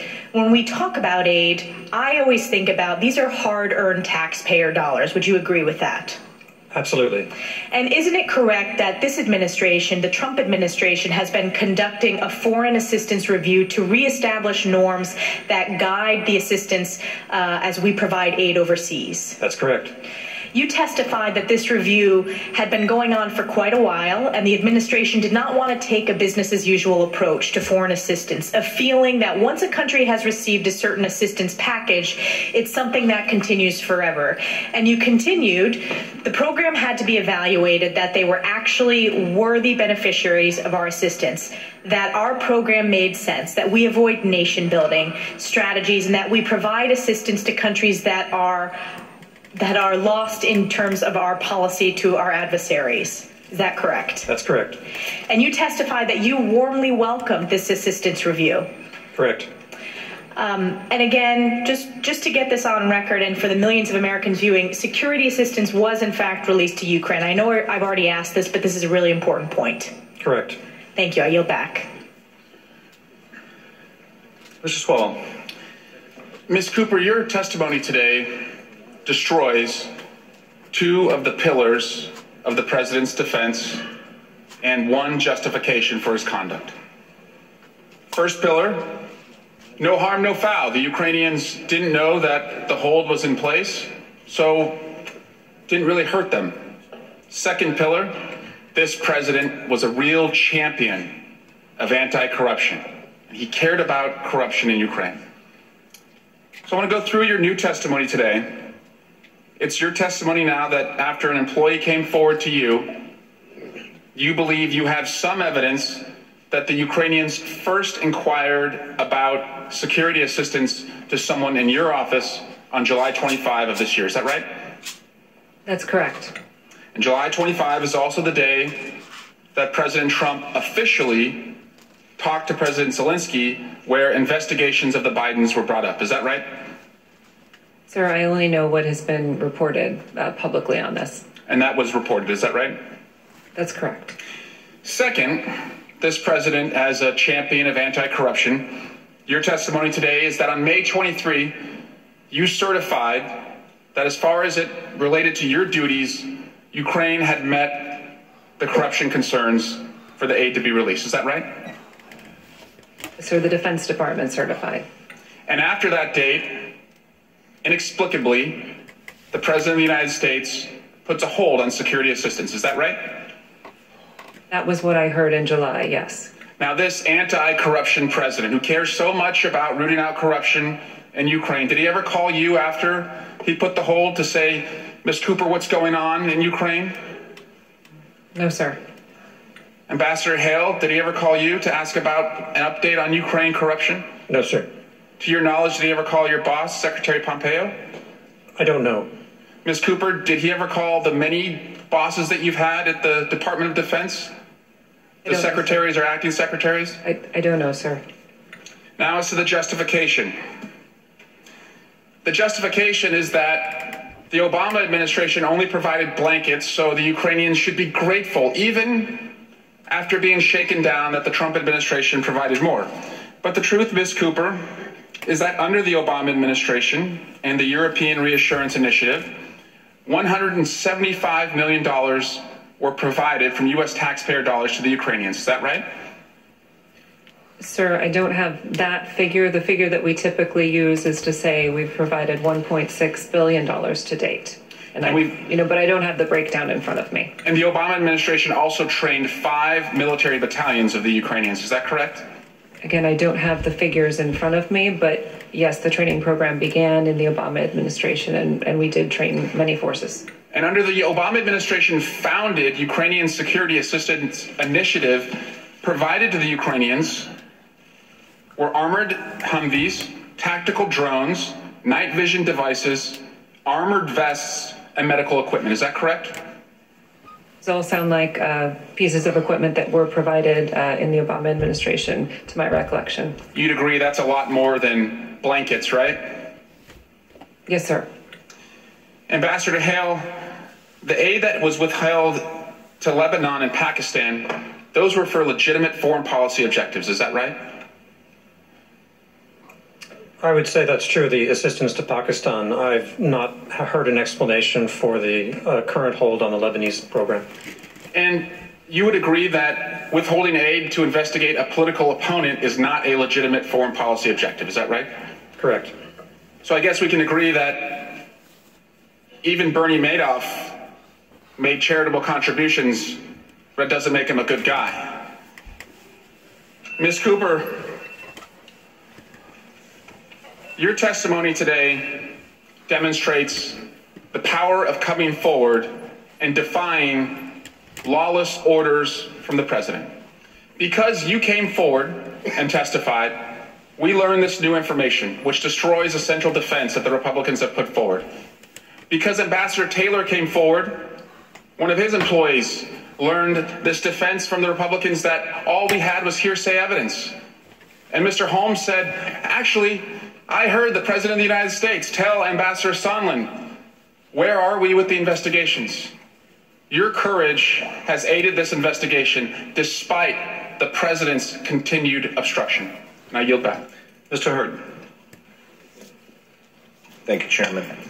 Um, Ambassador Hale, you're in essence the number three guy at the State Department, is that correct? Correct. You represent roughly 70,000 folks? I would, you, you, I would say I represent them. I'm part of them. I'm one of them. Yes. Um, well, you where you are part of a pretty fantastic workforce that I've been proud to be able to serve a, alongside. We we share a time together in in, in Pakistan, um, and so thank them. I know they oftentimes don't get the um, pats on the back or the accolades for what they do for our national security, um, but there's some of us that do recognize that and and appreciate that.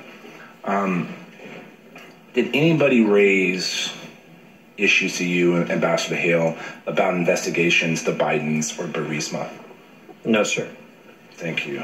Um, Ms. Cooper, you have great staff. I don't think my staff would have read my 115 page um, deposition and gave me feedback. So uh, give them give them gold stars. Um, you said you, in your in your deposition, and you just confirmed with my colleague from from California that you certified on 23 May that the Ukraine aid for the the review of the depart their their defense um, um, industry and Department of Defense, you know, was past the corruption test. Is that correct?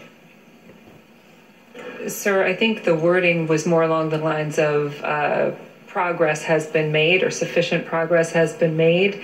Um, it didn't it didn't reference any kind of an anti-corruption test per se.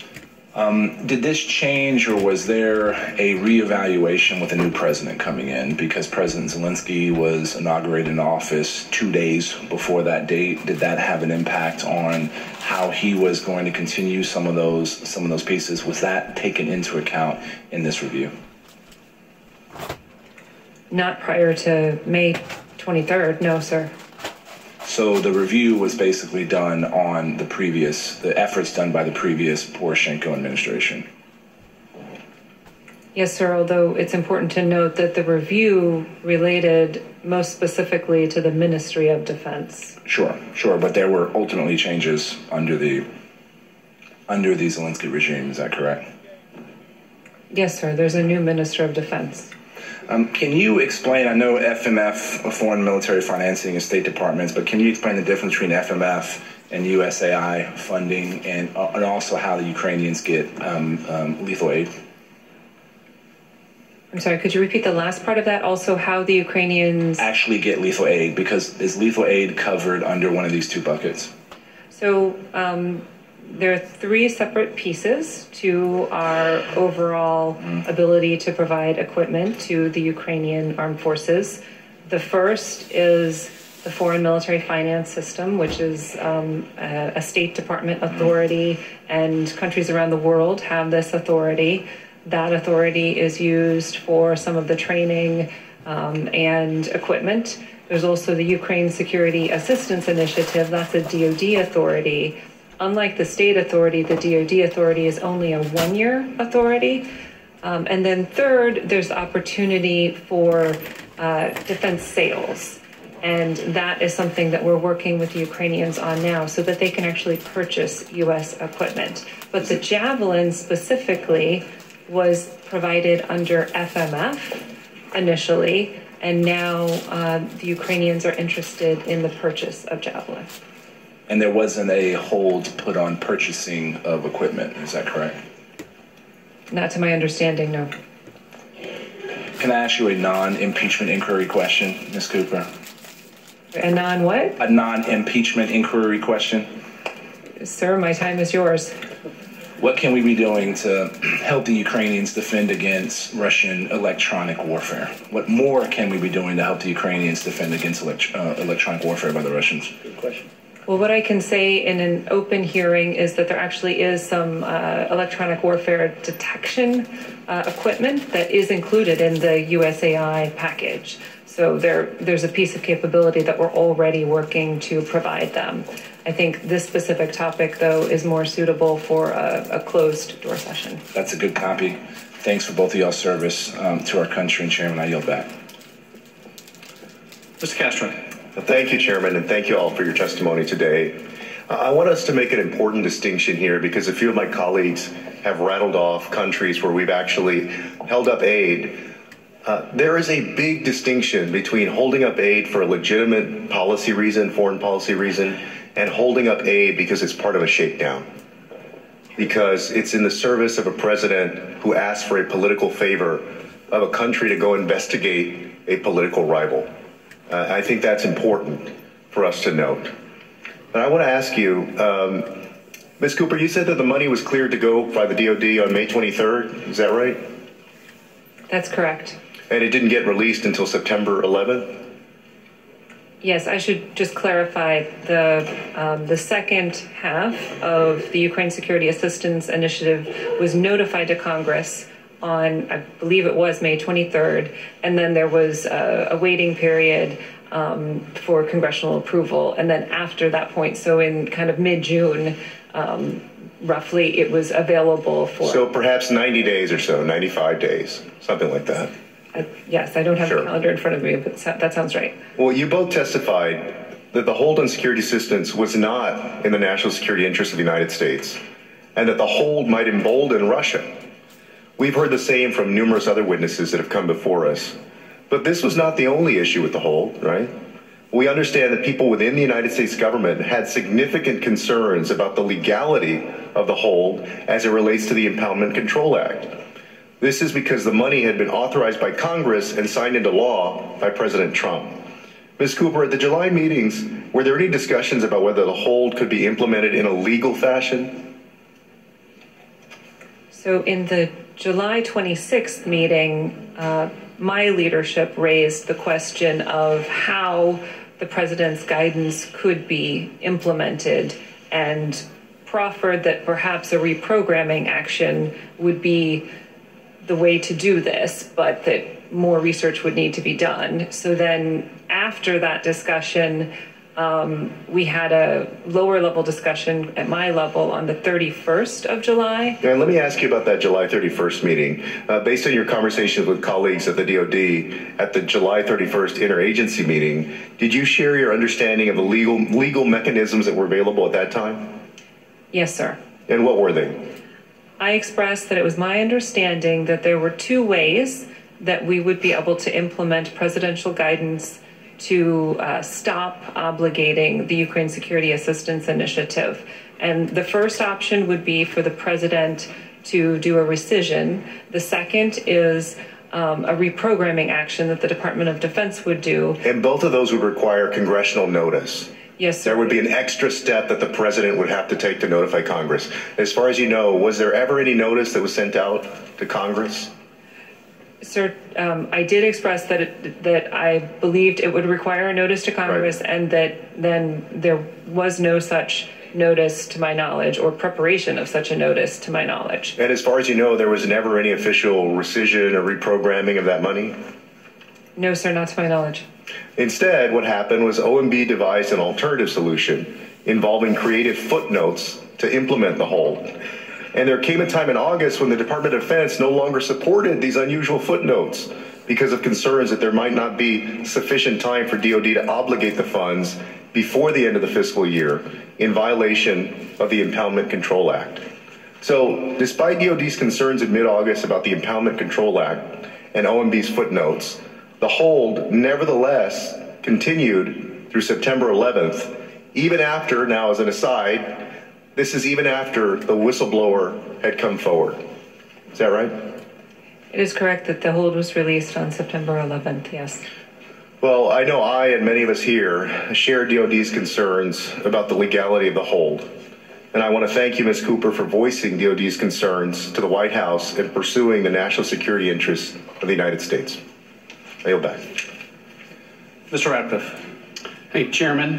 Uh, Ms. Cooper, based on the new emails that you mentioned in your opening and then subsequent uh, declarations by some of my Democratic colleagues uh, that those emails were evidence that the Ukrainians were aware of a military hold on July 25th, there's now reporting out there saying that Pentagon official reveals Ukrainians asked about stalled security aid. Um, it's, it's being widely reported that uh, Ukraine asked about the hold on military aid on July 25th. That's not what I heard from you. Is that correct? Sir, my exact words were that one email said that the Ukrainian embassy and the House Foreign Affairs Committee are asking about security assistance. Assistance. Assistance. Not hold. And then the second email was the Hill knows about the FMF situation to an extent, and so does the Ukrainian embassy. Those are the exact words. And what do security assistance and FMF situation in these emails mean?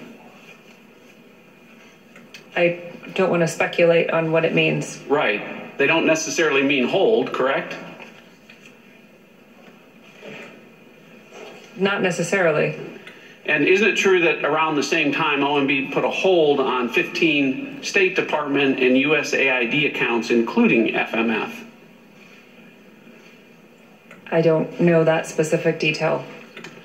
But you can't say one way or another whether the inquiries in these emails were about the hold. Is that fair? I cannot say for certain. Right. And you can't say one way or another whether the Ukrainians knew about the hold before August 28, 2019, when it was reported in Politico, correct? Sir, I can just tell you that it's the recollection of my staff that they likely knew, but no, I do not have a certain data point to offer you. Well, it's not unusual, is it, um, Ms. Cooper, for uh, foreign countries to inquire about foreign aid that they're expecting from the United States, is it? In my experience with the Ukrainians, they typically would call about specific things, not just generally checking in on their assistance package. Are you aware that President Zelensky on uh, October 10th, in response to questions from more than 300 reporters over the course of the afternoon, stated that he was not aware and had no knowledge of a hold on security assistance during the time of his July 25th phone call with President Trump? I believe I saw that media reporting, yes. I yield back. Mr. Heck. Thank you, Mr. Chairman. I thank you both for being here this evening.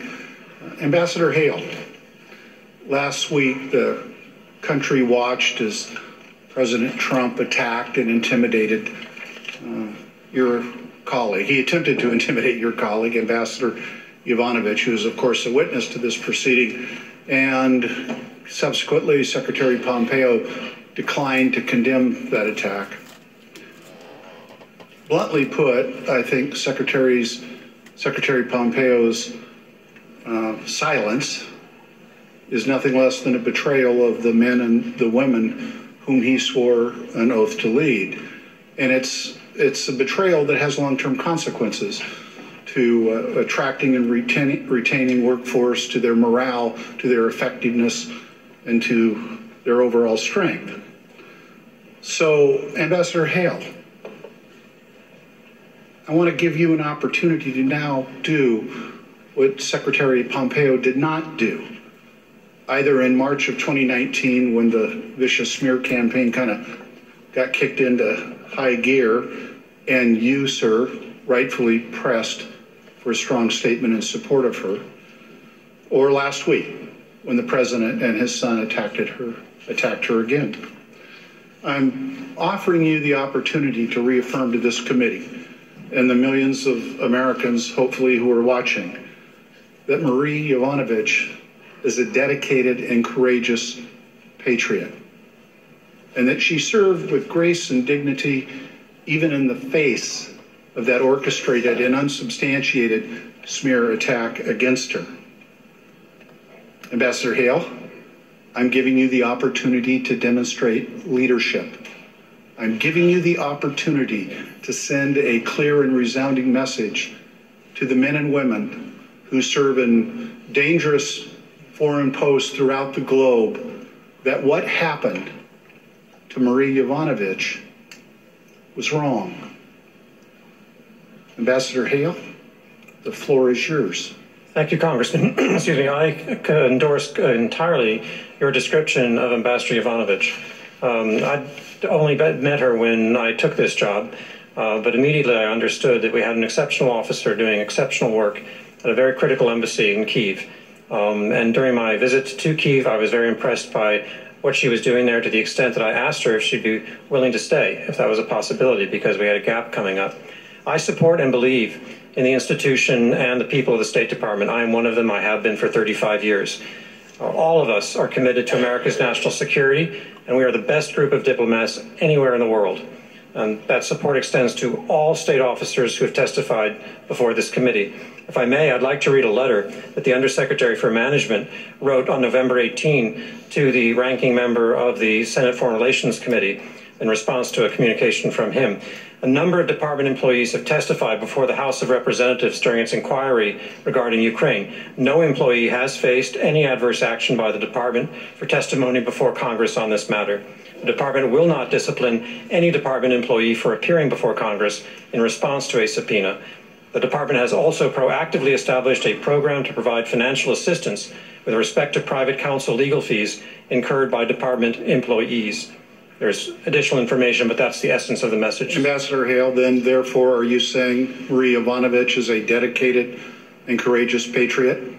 I endorse what you say exactly. and that she served with grace and dignity in the face of the smear campaign? Yes, she did. And that what happened to her was wrong? I believe that she should have been able to stay at post and continue to do the outstanding work. And what happened to her was wrong? That's right. Thank you, sir. Mm-hmm. Thank you for clarifying the record because I wasn't sure where it was that she could go to set the record straight if it wasn't you, sir, or where she could go to get her good name and reputation back if it weren't if it wasn't you, sir. Indeed, I want to encourage you in the strongest terms possible.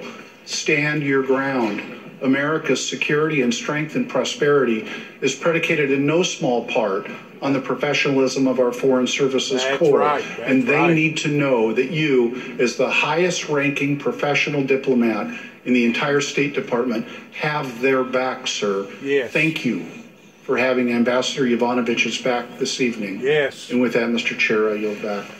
Mr. Jordan. Thank you, Mr. Chairman. Um, Ms. Ms. Cooper, the um, who who uh, why did the Office of Management and Budget uh, put a hold on the funds?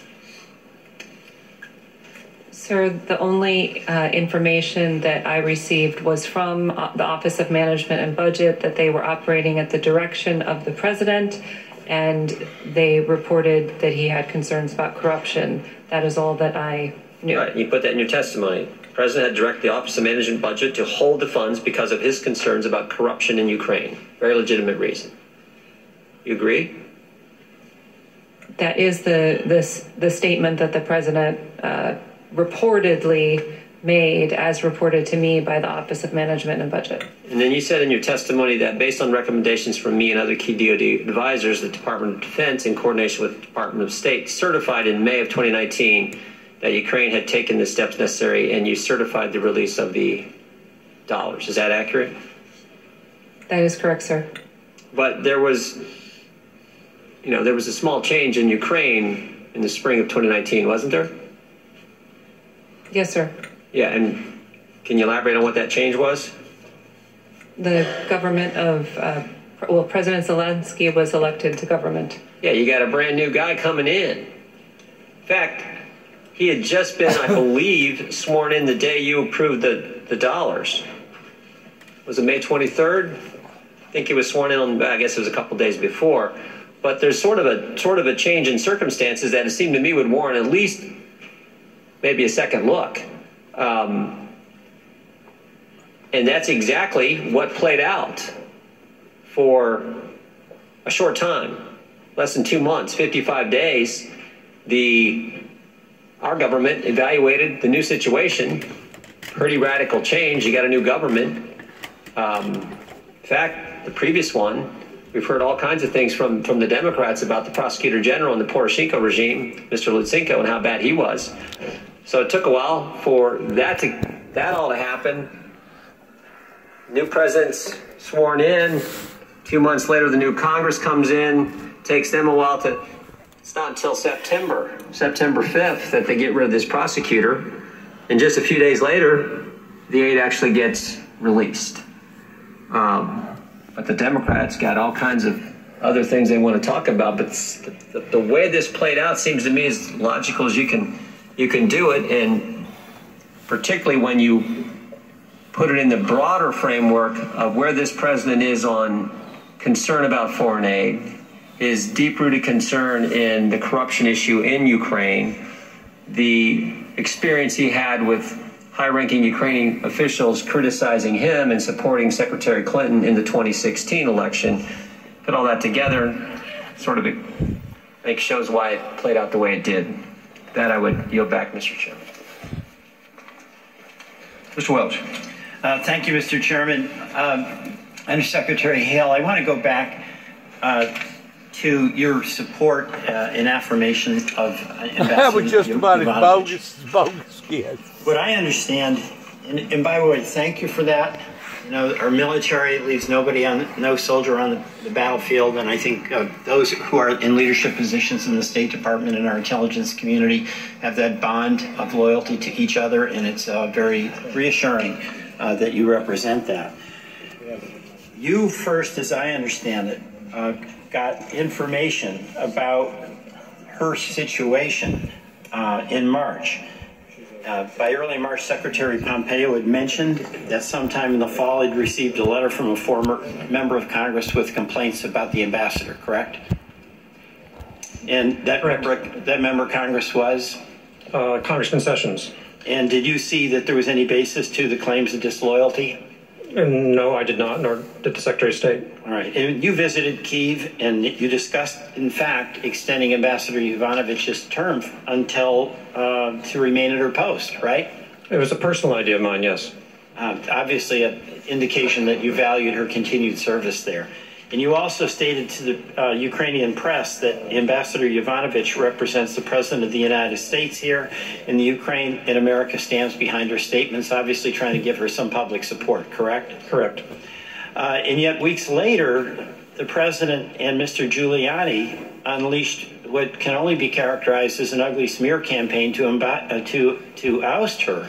Uh, what was your reaction to the news articles in late March in which a corrupt Ukrainian prosecutor attacked the ambassador?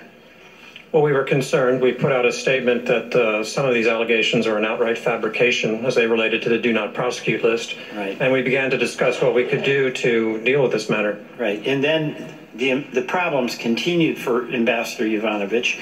Uh, and as I understand it, she emailed you on March 24th and indicated that, quote, the tempo of social media and other criticisms were such that she felt she could no longer function unless there was a strong statement of defense of her from the uh, State Department. Uh, is that correct? Correct. And this message, what, and Secretary Pompeo was aware uh, of her situation. Is that correct? Yes, I briefed him the next day. And he's the ultimate authority who could issue that strong statement of support, correct? Correct. Uh, but he never, ever did issue a statement, right? We did not issue a statement at that time. But in fact, you, as I, you testified around the same time that the secretary did not render assistance to a long-serving and highly respected ambassador. He made two phone calls uh, to Rudy Giuliani. Is that right?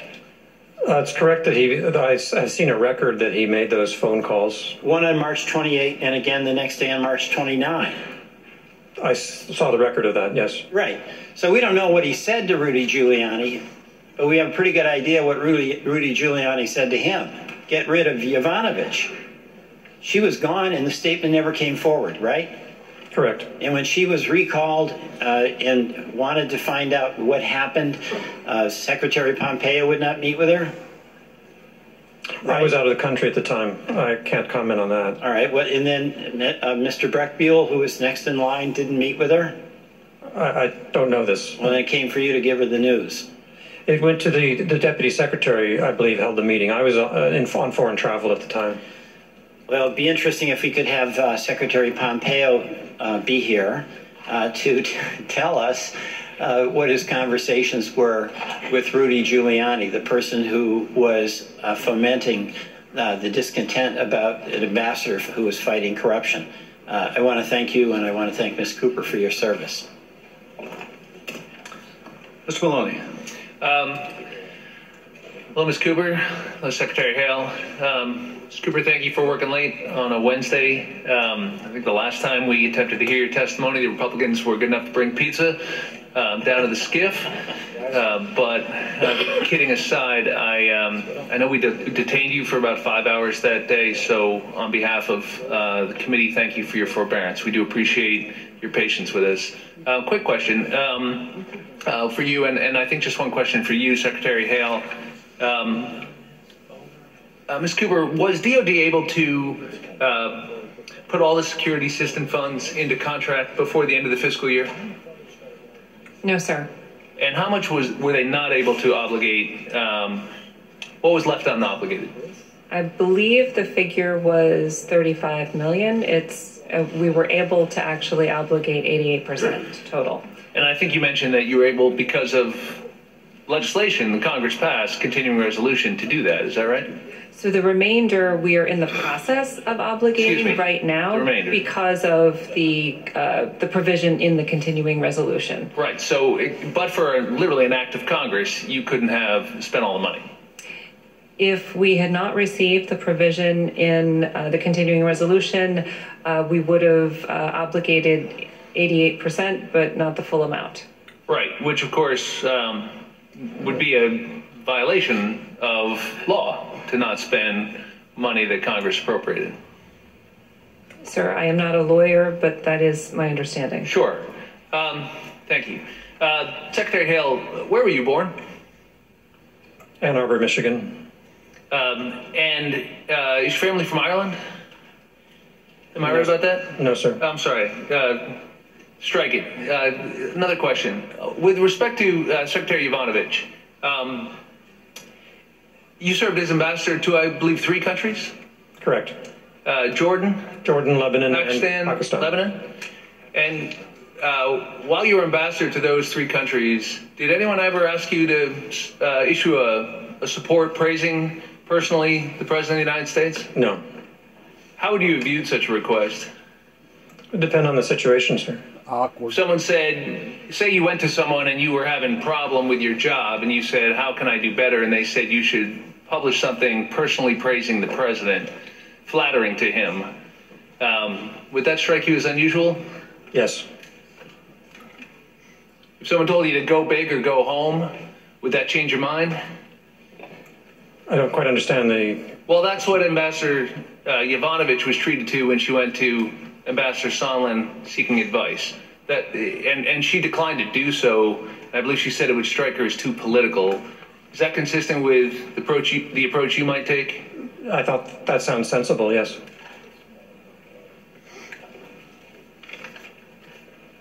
Thank you. Uh, yield the remaining time back to the chairman. Thank you both for being here. Ms. Demings. Ambassador Hale, Ms. Cooper, thank you both for being with us. Just a quick question before I uh, get into some questions about Ambassador Sondland, who we heard from today. I want to ask both of you if President Trump uh, withheld critical military aid from Ukraine because high ranking officials supported the president's political opponent would you consider that an official, acceptable, appropriate action by the President of the United States? Ambassador Hale? It's not what I would advise. Ms. Cooper? No, that does not sound appropriate. Ambassador Hale, you testified that you were aware Ambassador Sondland was involving himself in matters that, and I quote, went beyond the normal wit writ of the of an ambassador to the European Union, unquote. As you understood it, who authorized Ambassador Sondland to work on Ukraine? I had no firsthand knowledge of that. I received a readout from a meeting that the President of the United States had with the delegation on May 23rd, in which the briefing I received anyway indicated that the President wanted the members of that delegation, which included Ambassador Sondland, to carry forth the policies that were discussed in the course of that meeting. So that occurred in a meeting in the Oval Office on May 23rd, is where you heard that information from the readout of that a, meeting? a written readout from that, yes.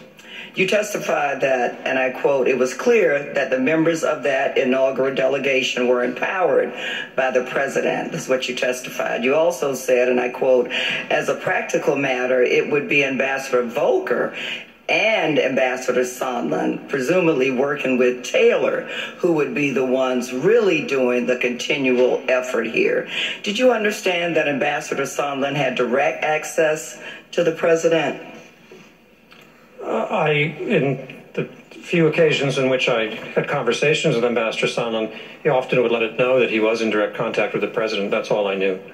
So you received that information directly from Ambassador Sondland that he had direct contact with the president. In previous occasions, yes, not that's not related to this particular matter. Is there anything about Ambassador Sondland's role that struck you as problematic?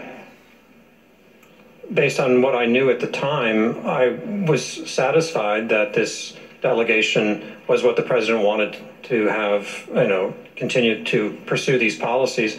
And I saw that Ambassador Volker, who was a professional, had been a, a foreign service officer and an ambassador of distinction, um, and steeped in Ukrainian affairs, was part of that group. So I had no great concerns. So what you knew at the time, you were okay with his role, but did uh, your opinion change about his the appropriateness of his role? As I testified, I was not aware of these various activities related to negotiations over investigations, preconditions related to that. I just wasn't aware of it, so I had no reason to be making any kind of judgment one way or the other. Have you reviewed the text messages between Ambassadors Sondland and Volker? I've seen some of them that were reported in the media. Were you surprised by anything in those messages that you heard reported or personally witnessed or observed? I was surprised by what I saw in those reports in the media. I want to ensure I understand your testimony, Ambassador Hale. You believed Ambassador Sondland was empowered by the president, according to what you found out from the May 23rd meeting, to work on Ukraine policy, and you said, quote, none of that really struck you as problematic because of the time differences there of what you knew. Is that correct? Based on what I knew, yes. Okay. You are the Undersecretary for Political Affairs. You testified that in that capacity, you are responsible for the management of the United States bilateral relations with, and I quote, every country in the world that we recognize for the management of our policies towards those countries, as well as our relationship or policies as they relate to multilateral organizations. Does that include U.S. policy and relations with Ukraine? It does, but when we have a special envoy who reports directly to the secretary related to a country or an issue, that special envoy will take the day to day responsibilities. How about U.S. policy and relations with the European Union? Yes, I am. But you were not aware fully of Ambassador Sondland's activities on behalf of President Trump. That's correct. Okay, thank you, Mr. Chair. I yield back.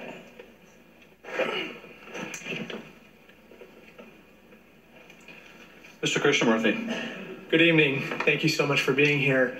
Um, Undersecretary Hale, uh, you and your colleagues testified that you've gathered official records at the State Department with the understanding that they would be provided to Congress, right?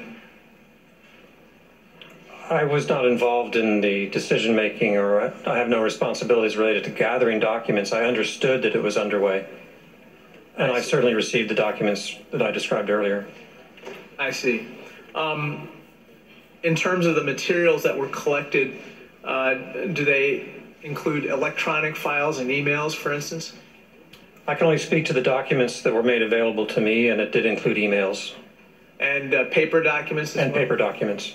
Um, would tape recordings potentially be uh, among the files that are gathered?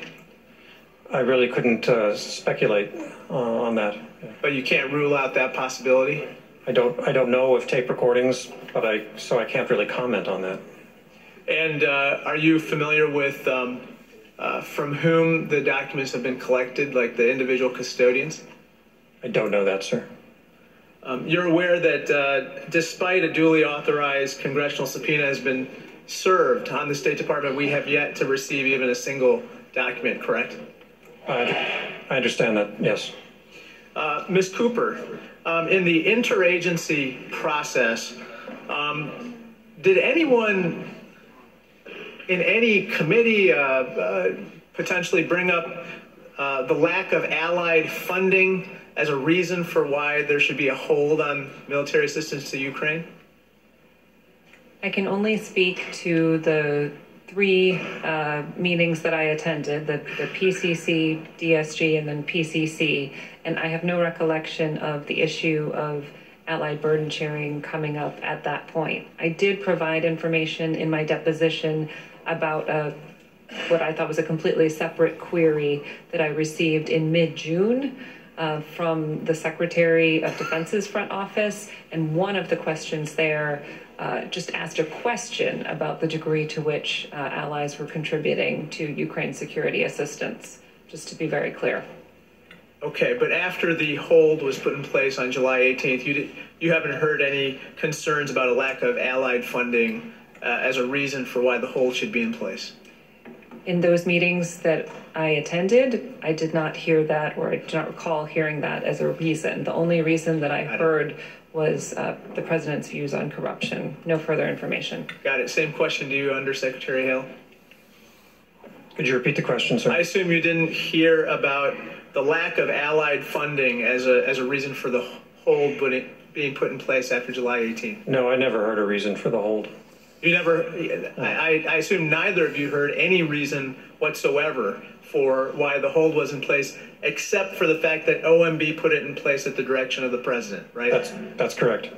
And I, I assume, you know, one of my colleagues brought up the idea that the hold was put in place to assess whether or not President Zelensky was legit. I assume that was not a, uh, a reason that was offered either.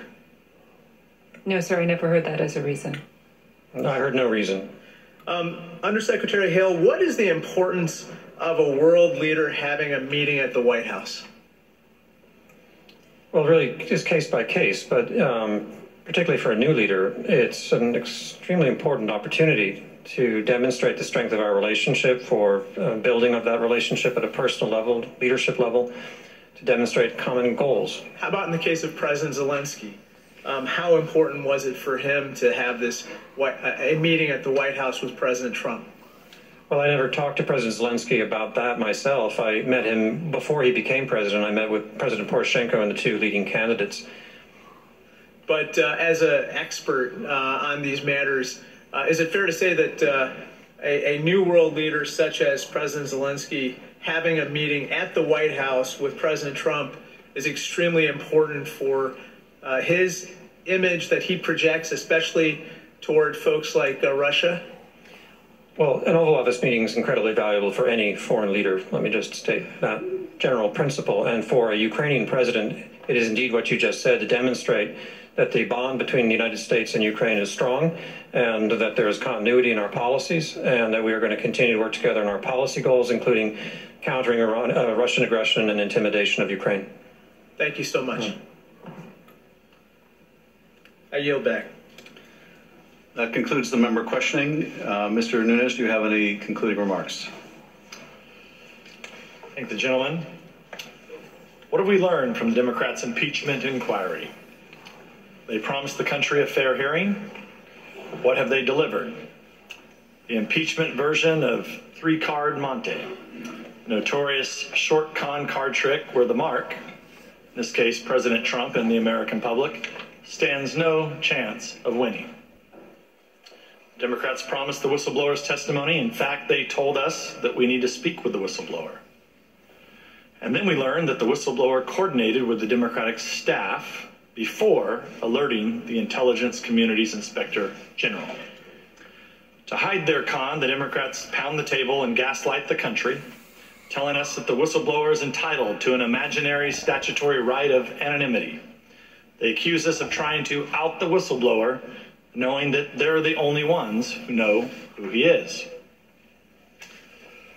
They say that if the facts are against you, argue the law. If the law is against you, argue the facts. And if both are against you, pound the table and yell like hell. It seems at law school these days, it's teaching their students a fourth tactic. If the facts and the law are against you, simply rig the game and hope your audience is too stupid to catch your duplicity. This is not an impeachment inquiry, it's an impeachment inquisition. In the Middle Ages, the inquisitor was free to act on his own and bring suit against any person who was even vaguely the subject of the lowest rumor. And the accused was denied any right to confront their accusers. Incredibly, or maybe not so much, given the Democrats' track record, an Inquisition victim had more rights than the Democrats are giving the president. After all, Inquisition victims had the right to know their accuser's name.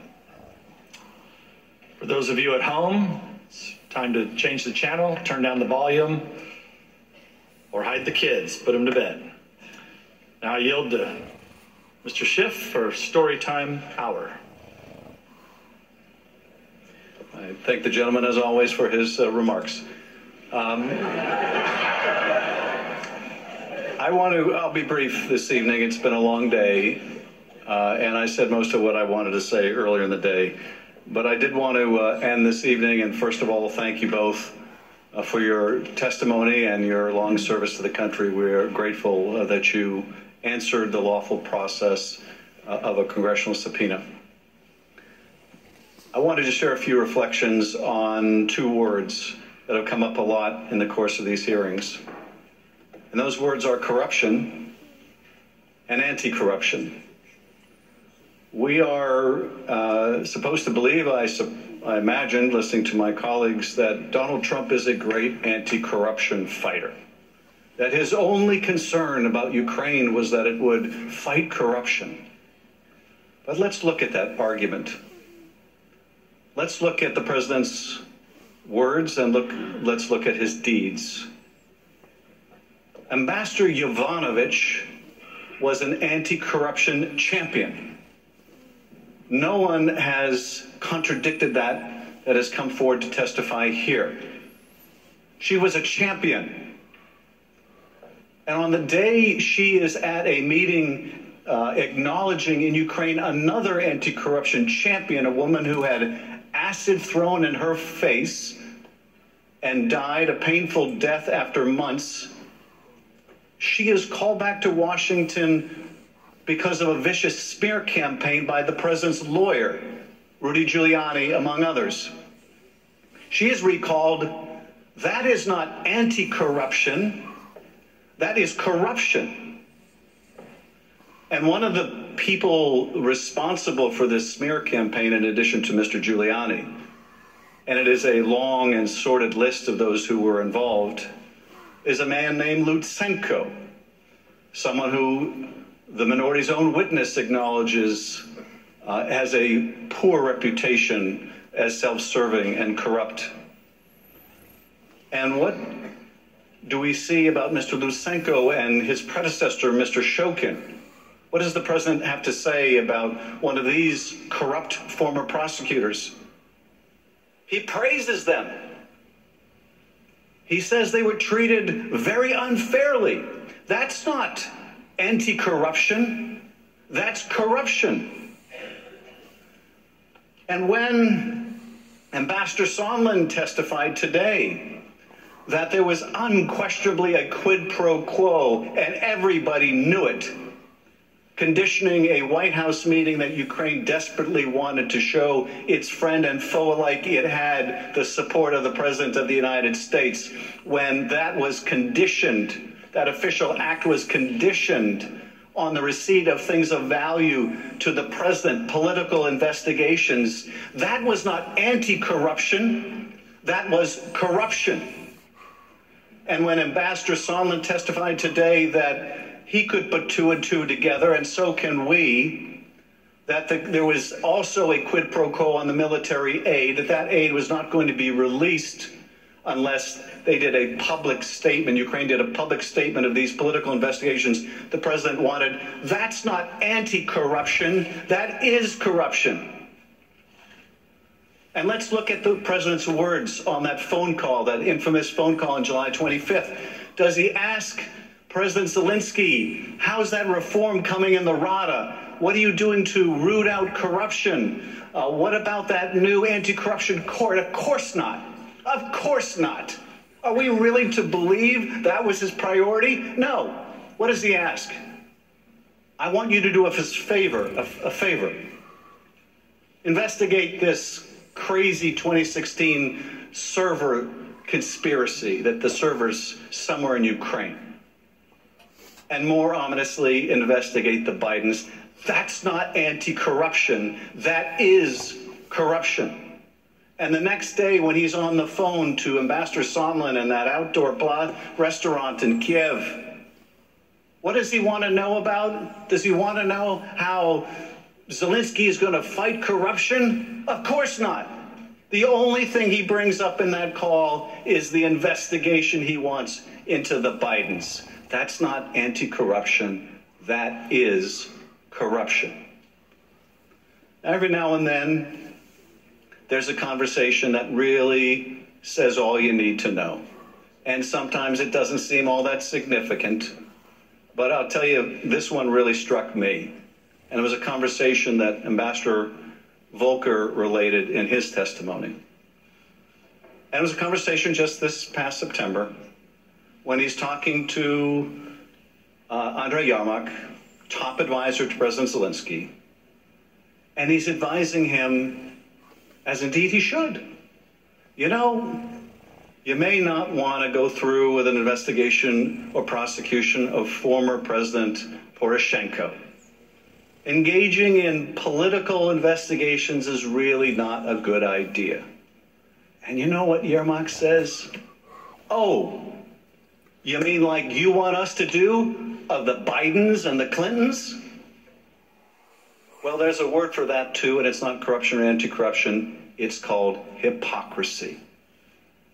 And this is the problem here. We do have an anti corruption policy around the world.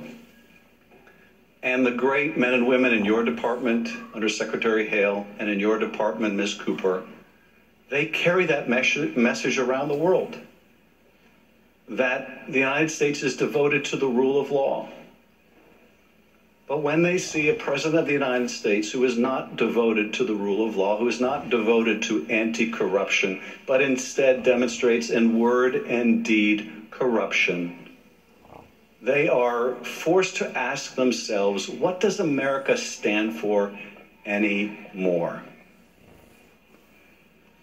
That concludes this evening's hearing. Uh, I will ask the witnesses to excuse themselves members should remain. We have a, a business matter to take up.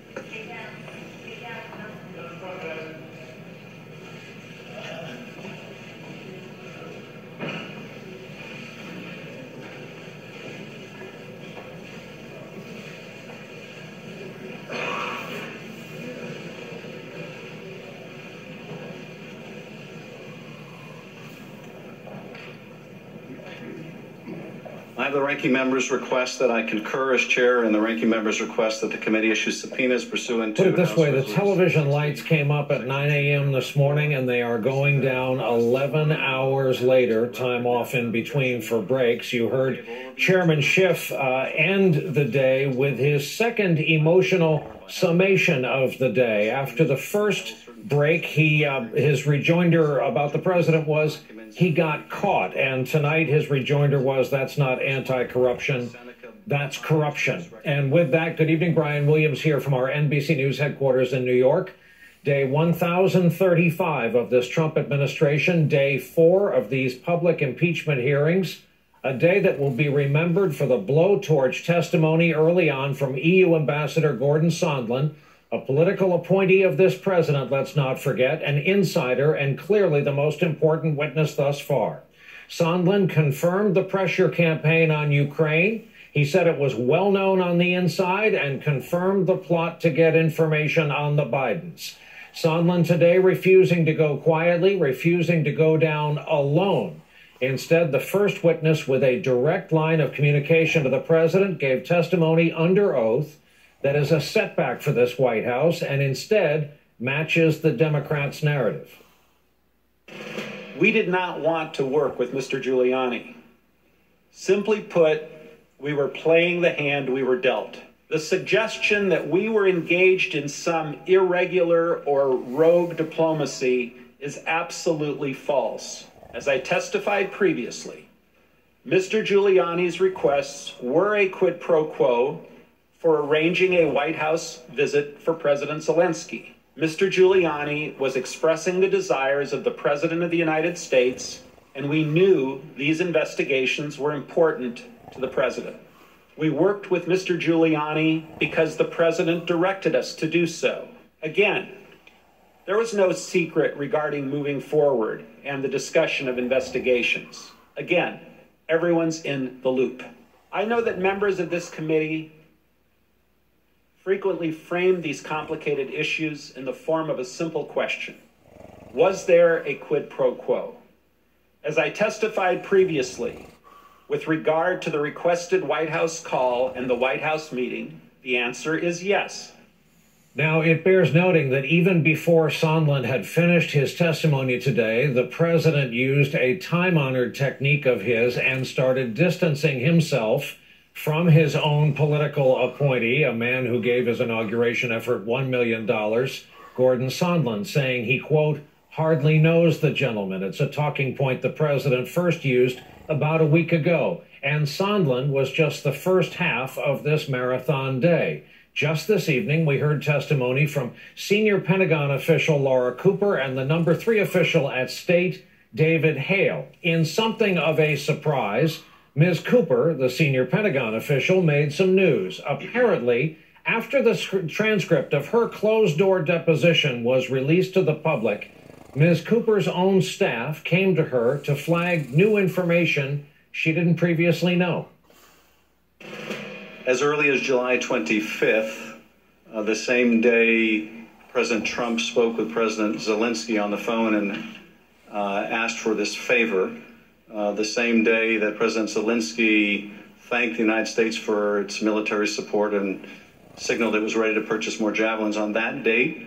Um, you got inquiries, your staff got inquiries from someone at the Ukrainian embassy uh, who was concerned about the status of the military assistance. Is that correct? Sir, that's correct. I would say that specifically the Ukrainian embassy staff asked what is going on with Ukrainian security assistance. And did that uh, connote to you that they were concerned that something was in fact going on with it? Yes, sir. You are now, Ms. Cooper, the third witness uh, before our committee who has testified that the Ukrainians found out about a problem or hole in the security assistance prior to it becoming public. But you're the first to indicate that that may go back as early as the date of the president's call with President Zelensky. More on that moment in a moment. It's also not the first time that new information has come to light since these hearings have been underway. Now, the afternoon session of testimony started late and just wrapped up this evening, as you know, and it was only the first event of our day as we are preparing for tonight's Democratic presidential debate. moderated by our colleagues Andrea Mitchell, Rachel Maddow, Kristen Welker, and Ashley Parker, Pulitzer Prize winning White House reporter for the Washington Post. And with the testimony in Washington still fresh, yes, we are going to soon turn our attention to Atlanta, Georgia. Ten Democratic presidential contenders are getting ready to walk out on that stage at Tyler Perry Studios in Atlanta. And again, less than two hours, the debate will get underway, capping off what has been a riveting day. We want to bring the conversation back to our studio in New York, bring the conversation back to what it is we have just witnessed. Let's bring in former U.S. Attorney, senior FBI official Chuck Rosenberg, MSNBC chief legal correspondent Ari Melber, and Washington Post Pulitzer Prize winning columnist Eugene Robinson. Gentlemen, thank you for being here. Again, a long day's journey in tonight. Chuck Rosenberg, let's uh, let's start at the end and work our way back. That last revelation, uh, an email comes into her staff. The date should stick in people's minds by now. This proves the Ukrainians were aware of what? Well, it shows that the Ukrainians knew, at least suspected, Brian, that there had been an, a hold put on the security assistance that they so desperately needed. One of the interesting things from today, we learned again, uh, in this case from uh, David Hale, the third ranking um, person at the State Department, how important uh, security assistance was for Ukraine. They were invaded in 2014 by Russia. 14,000 Ukrainians have died since then in that conflict. Uh, and the President of the United States, according to Mr. Sondland, who testified earlier, is conditioning receipt of security assistance uh, on the Ukrainians making a political announcement to benefit the president. Uh, Ari Melber, as a practical political matter, where it comes to messaging on the part of the Democrats, you asked this evening on the air why this wasn't being billed as the plot against the Bidens instead. Exactly, because what we see here is people who work for Donald Trump now confirming, they say, that this was a tit for tat, a quid pro quo, a extortion bribe, whatever you want to call it, to go after Biden. And it was all about the Bidens. And then you had this debate a little bit in the hearing about which Ukrainian company reflected that, but it was all about the Bidens. So we're going to see that on the debate stage tonight. For people who are catching up with today's hearings, Brian, I would put it simply. In the morning, we heard Donald Trump's own appointee, who still works for him, say, yes, we tried to use money to extort Ukraine to help us go after Biden. And in the afternoon, we saw other officials, including at the Pentagon, confirm yes, the Ukrainians knew the money was on the line. Uh, while I have you on the subject of Sondland, which is a gentleman who's still going to uh, occupy a lot of our time here tonight, uh, all we know is he mentioned flying back to Brussels. He was spotted mm-hmm. indeed at Dulles Airport this afternoon, having made his flight, presumably, and presumably he's perhaps enjoying dinner over the North Atlantic tonight. He'll still be an employee when he lands. Talk about the impact of his words and how shocking it was this morning that he was going in. This was an actually incredible day. Gordon Sondland is the Trump donor. He is handpicked by Donald Trump. And unlike many other people in the administration, he has one to one contact with Trump. We've heard this question posed in the hearings up until today. Did you talk to the president about it? Did you hear the president say it? This is a person who today repeatedly said, yes. I talked to the president. I did it on the president's orders. And he says it was a quid pro quo bribery campaign to get Ukraine to help take out and hurt Joe Biden, hurt the Bidens, go after them. So having Gordon Sondland be a Trump person, talked about never Trump, up until today, Brian, he was always Trump. And he just dropped a dime on the President of the United States, and he's still, as of tonight, is employed by Trump. Eugene Robinson, we were on the air last night in this very studio. Uh, as we put it, he had a whole lot of explaining to do today. And yeah. there was there's been a robust discussion as to whether or not he would take the fifth, in fact, Right. He did, I guess, the opposite of that. He did absolutely the opposite. I mean, he, he did, you know, um, I'm ready for my close up, Mr. DeMille. I mean, he was, he was, he, he came with that big sort of um, smile on his face. He was ready to, to tell his story. He believes in his story, and he believes. Um, it's, it, it's interesting. He, he emphasized a couple of points. First of all, this was the official policy of the president of the United States. He was uh, enacting. It wasn't some sort of rogue campaign. Everybody was in on it. On it. Everybody knew what was going on, despite what they might tell you. Everybody was in the loop. Um, the other thing that really struck me that that he said was that it didn't actually matter if the Ukrainians actually investigated. It was that they announced an investigation. Yeah. That was the whole point, was to get the announcement of the investigation. Um, and the Sondland testimony was so full and so you know it was long but it but it had so much in it that we really should not overlook the Laura Cooper testimony um, this evening because that point about um, when the Ukrainians knew that the aid wasn't coming. Now, if you think about it for five minutes, how would they not know? Right? I mean, how would you not know that $400 million in military aid that you desperately need had not arrived? On time that it had been approved, and usually it, it, it shows up. Yeah, you look I mean, at FedEx every day, hoping the check is coming. Exactly. You look in your in your in your bank account on payday, and if you and, and if your your salary isn't there, you notice. And if you're Ukraine, absolutely you notice. Well, we got confirmation of what you could have assumed. But yes, they noticed. They knew the money wasn't there, and they knew something was up. Uh, Chuck Rosenberg, uh, Eugene mentioned Sondland's kind of confident air and smile. Sean Patrick Maloney, Democrat of New York, later called it a smirk in his view, and that is also to say Sondland angered, uh, found a way to anger members of both parties today. The Republicans made some headway in their redirect, and I think that's what made the congressman from New York angry. Uh, Ambassador Sondland was the strongest when he read his opening statement over the course of the day, it seemed like he wore down a bit. He migrated. He, he, he, migrated, but that's not the first time this has happened to that particular gentleman. Remember, this was essentially, as the congressman pointed out, the third iteration of his statement. Right? Each time it's gotten a little bit sharper, his recall has gotten a little mm-hmm. bit better. When that happens, as a former federal prosecutor, your antenna immediately go up. Is he just remembering more stuff innocently, as we sometimes do? Or is he coloring or shading his testimony in some way, particularly if he's had access to what other people have said?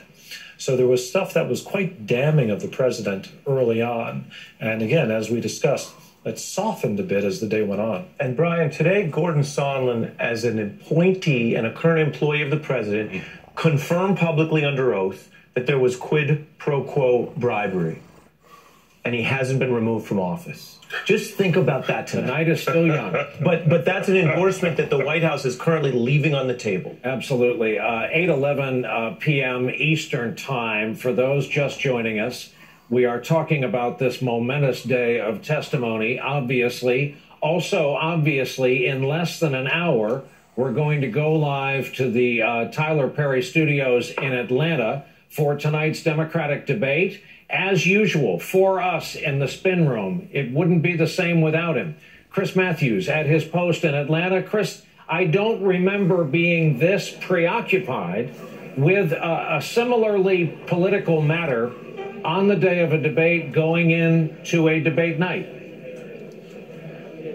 We'll see how it works. I think uh, certainly our viewers and yours as well have been fascinated by the prosecution of this impeachment effort. Uh, fascinated by it. They don't really want to change topics, really. We'll see that tonight, in a weird way, uh, the, the impeachment audience will be brought right into the uh, debate chamber tonight. So, in a way, they're going to meet each other.